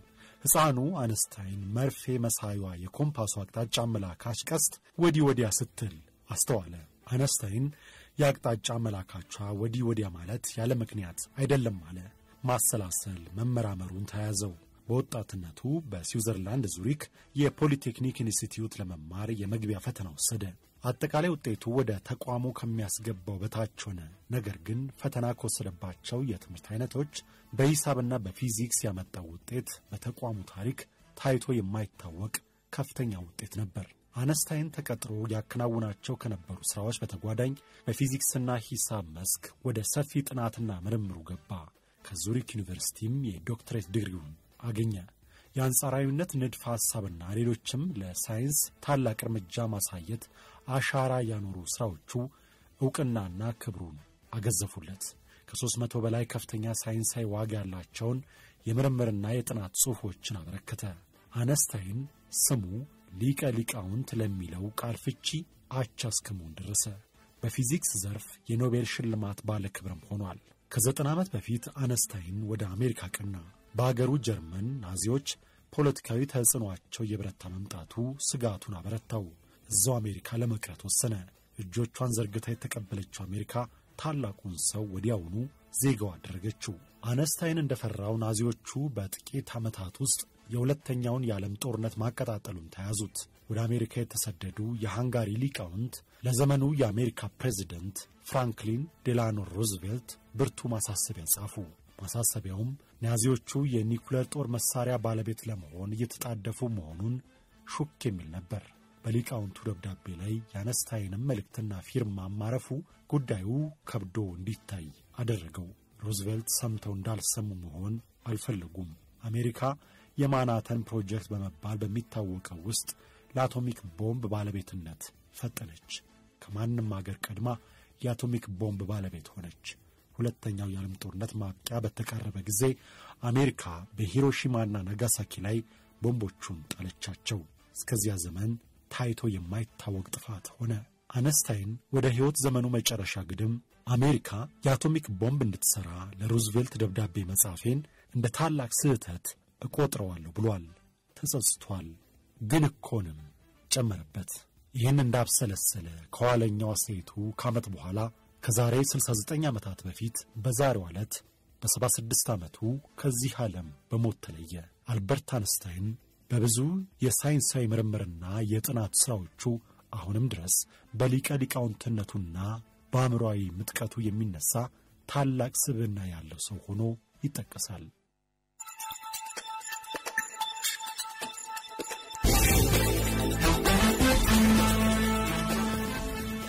የተከበራችሁ አድማጮች የሚያዝያ 10 2016 ዓመተ ምህረት የዕለተ ሐሙስ ሸገር ማሌዳችን አበቃ። ሄለን ድልነሳውና ማርታ በቀለ አብረናችሁ ነበርን። እናንተም ከኛ ጋር ስለነበራችሁ እናመሰግናለን። አሁን ግርማ ፍስሐ በአንዳንድ ነገሮች ይጠብቃችኋል። እኔም በ0111275454 ላይ ጥያቄያችሁን ለመቀበል እጠብቃችኋለሁ። ከሸገር ጋር ብትሆኑ ደስ ይለናል። ሸገር እናንተ ነው። ቸሮር የምትሰሙበት መልካም ቀን ይሁንላችሁ። ኢትዮጵያ ለዘለዓለም ትኑር።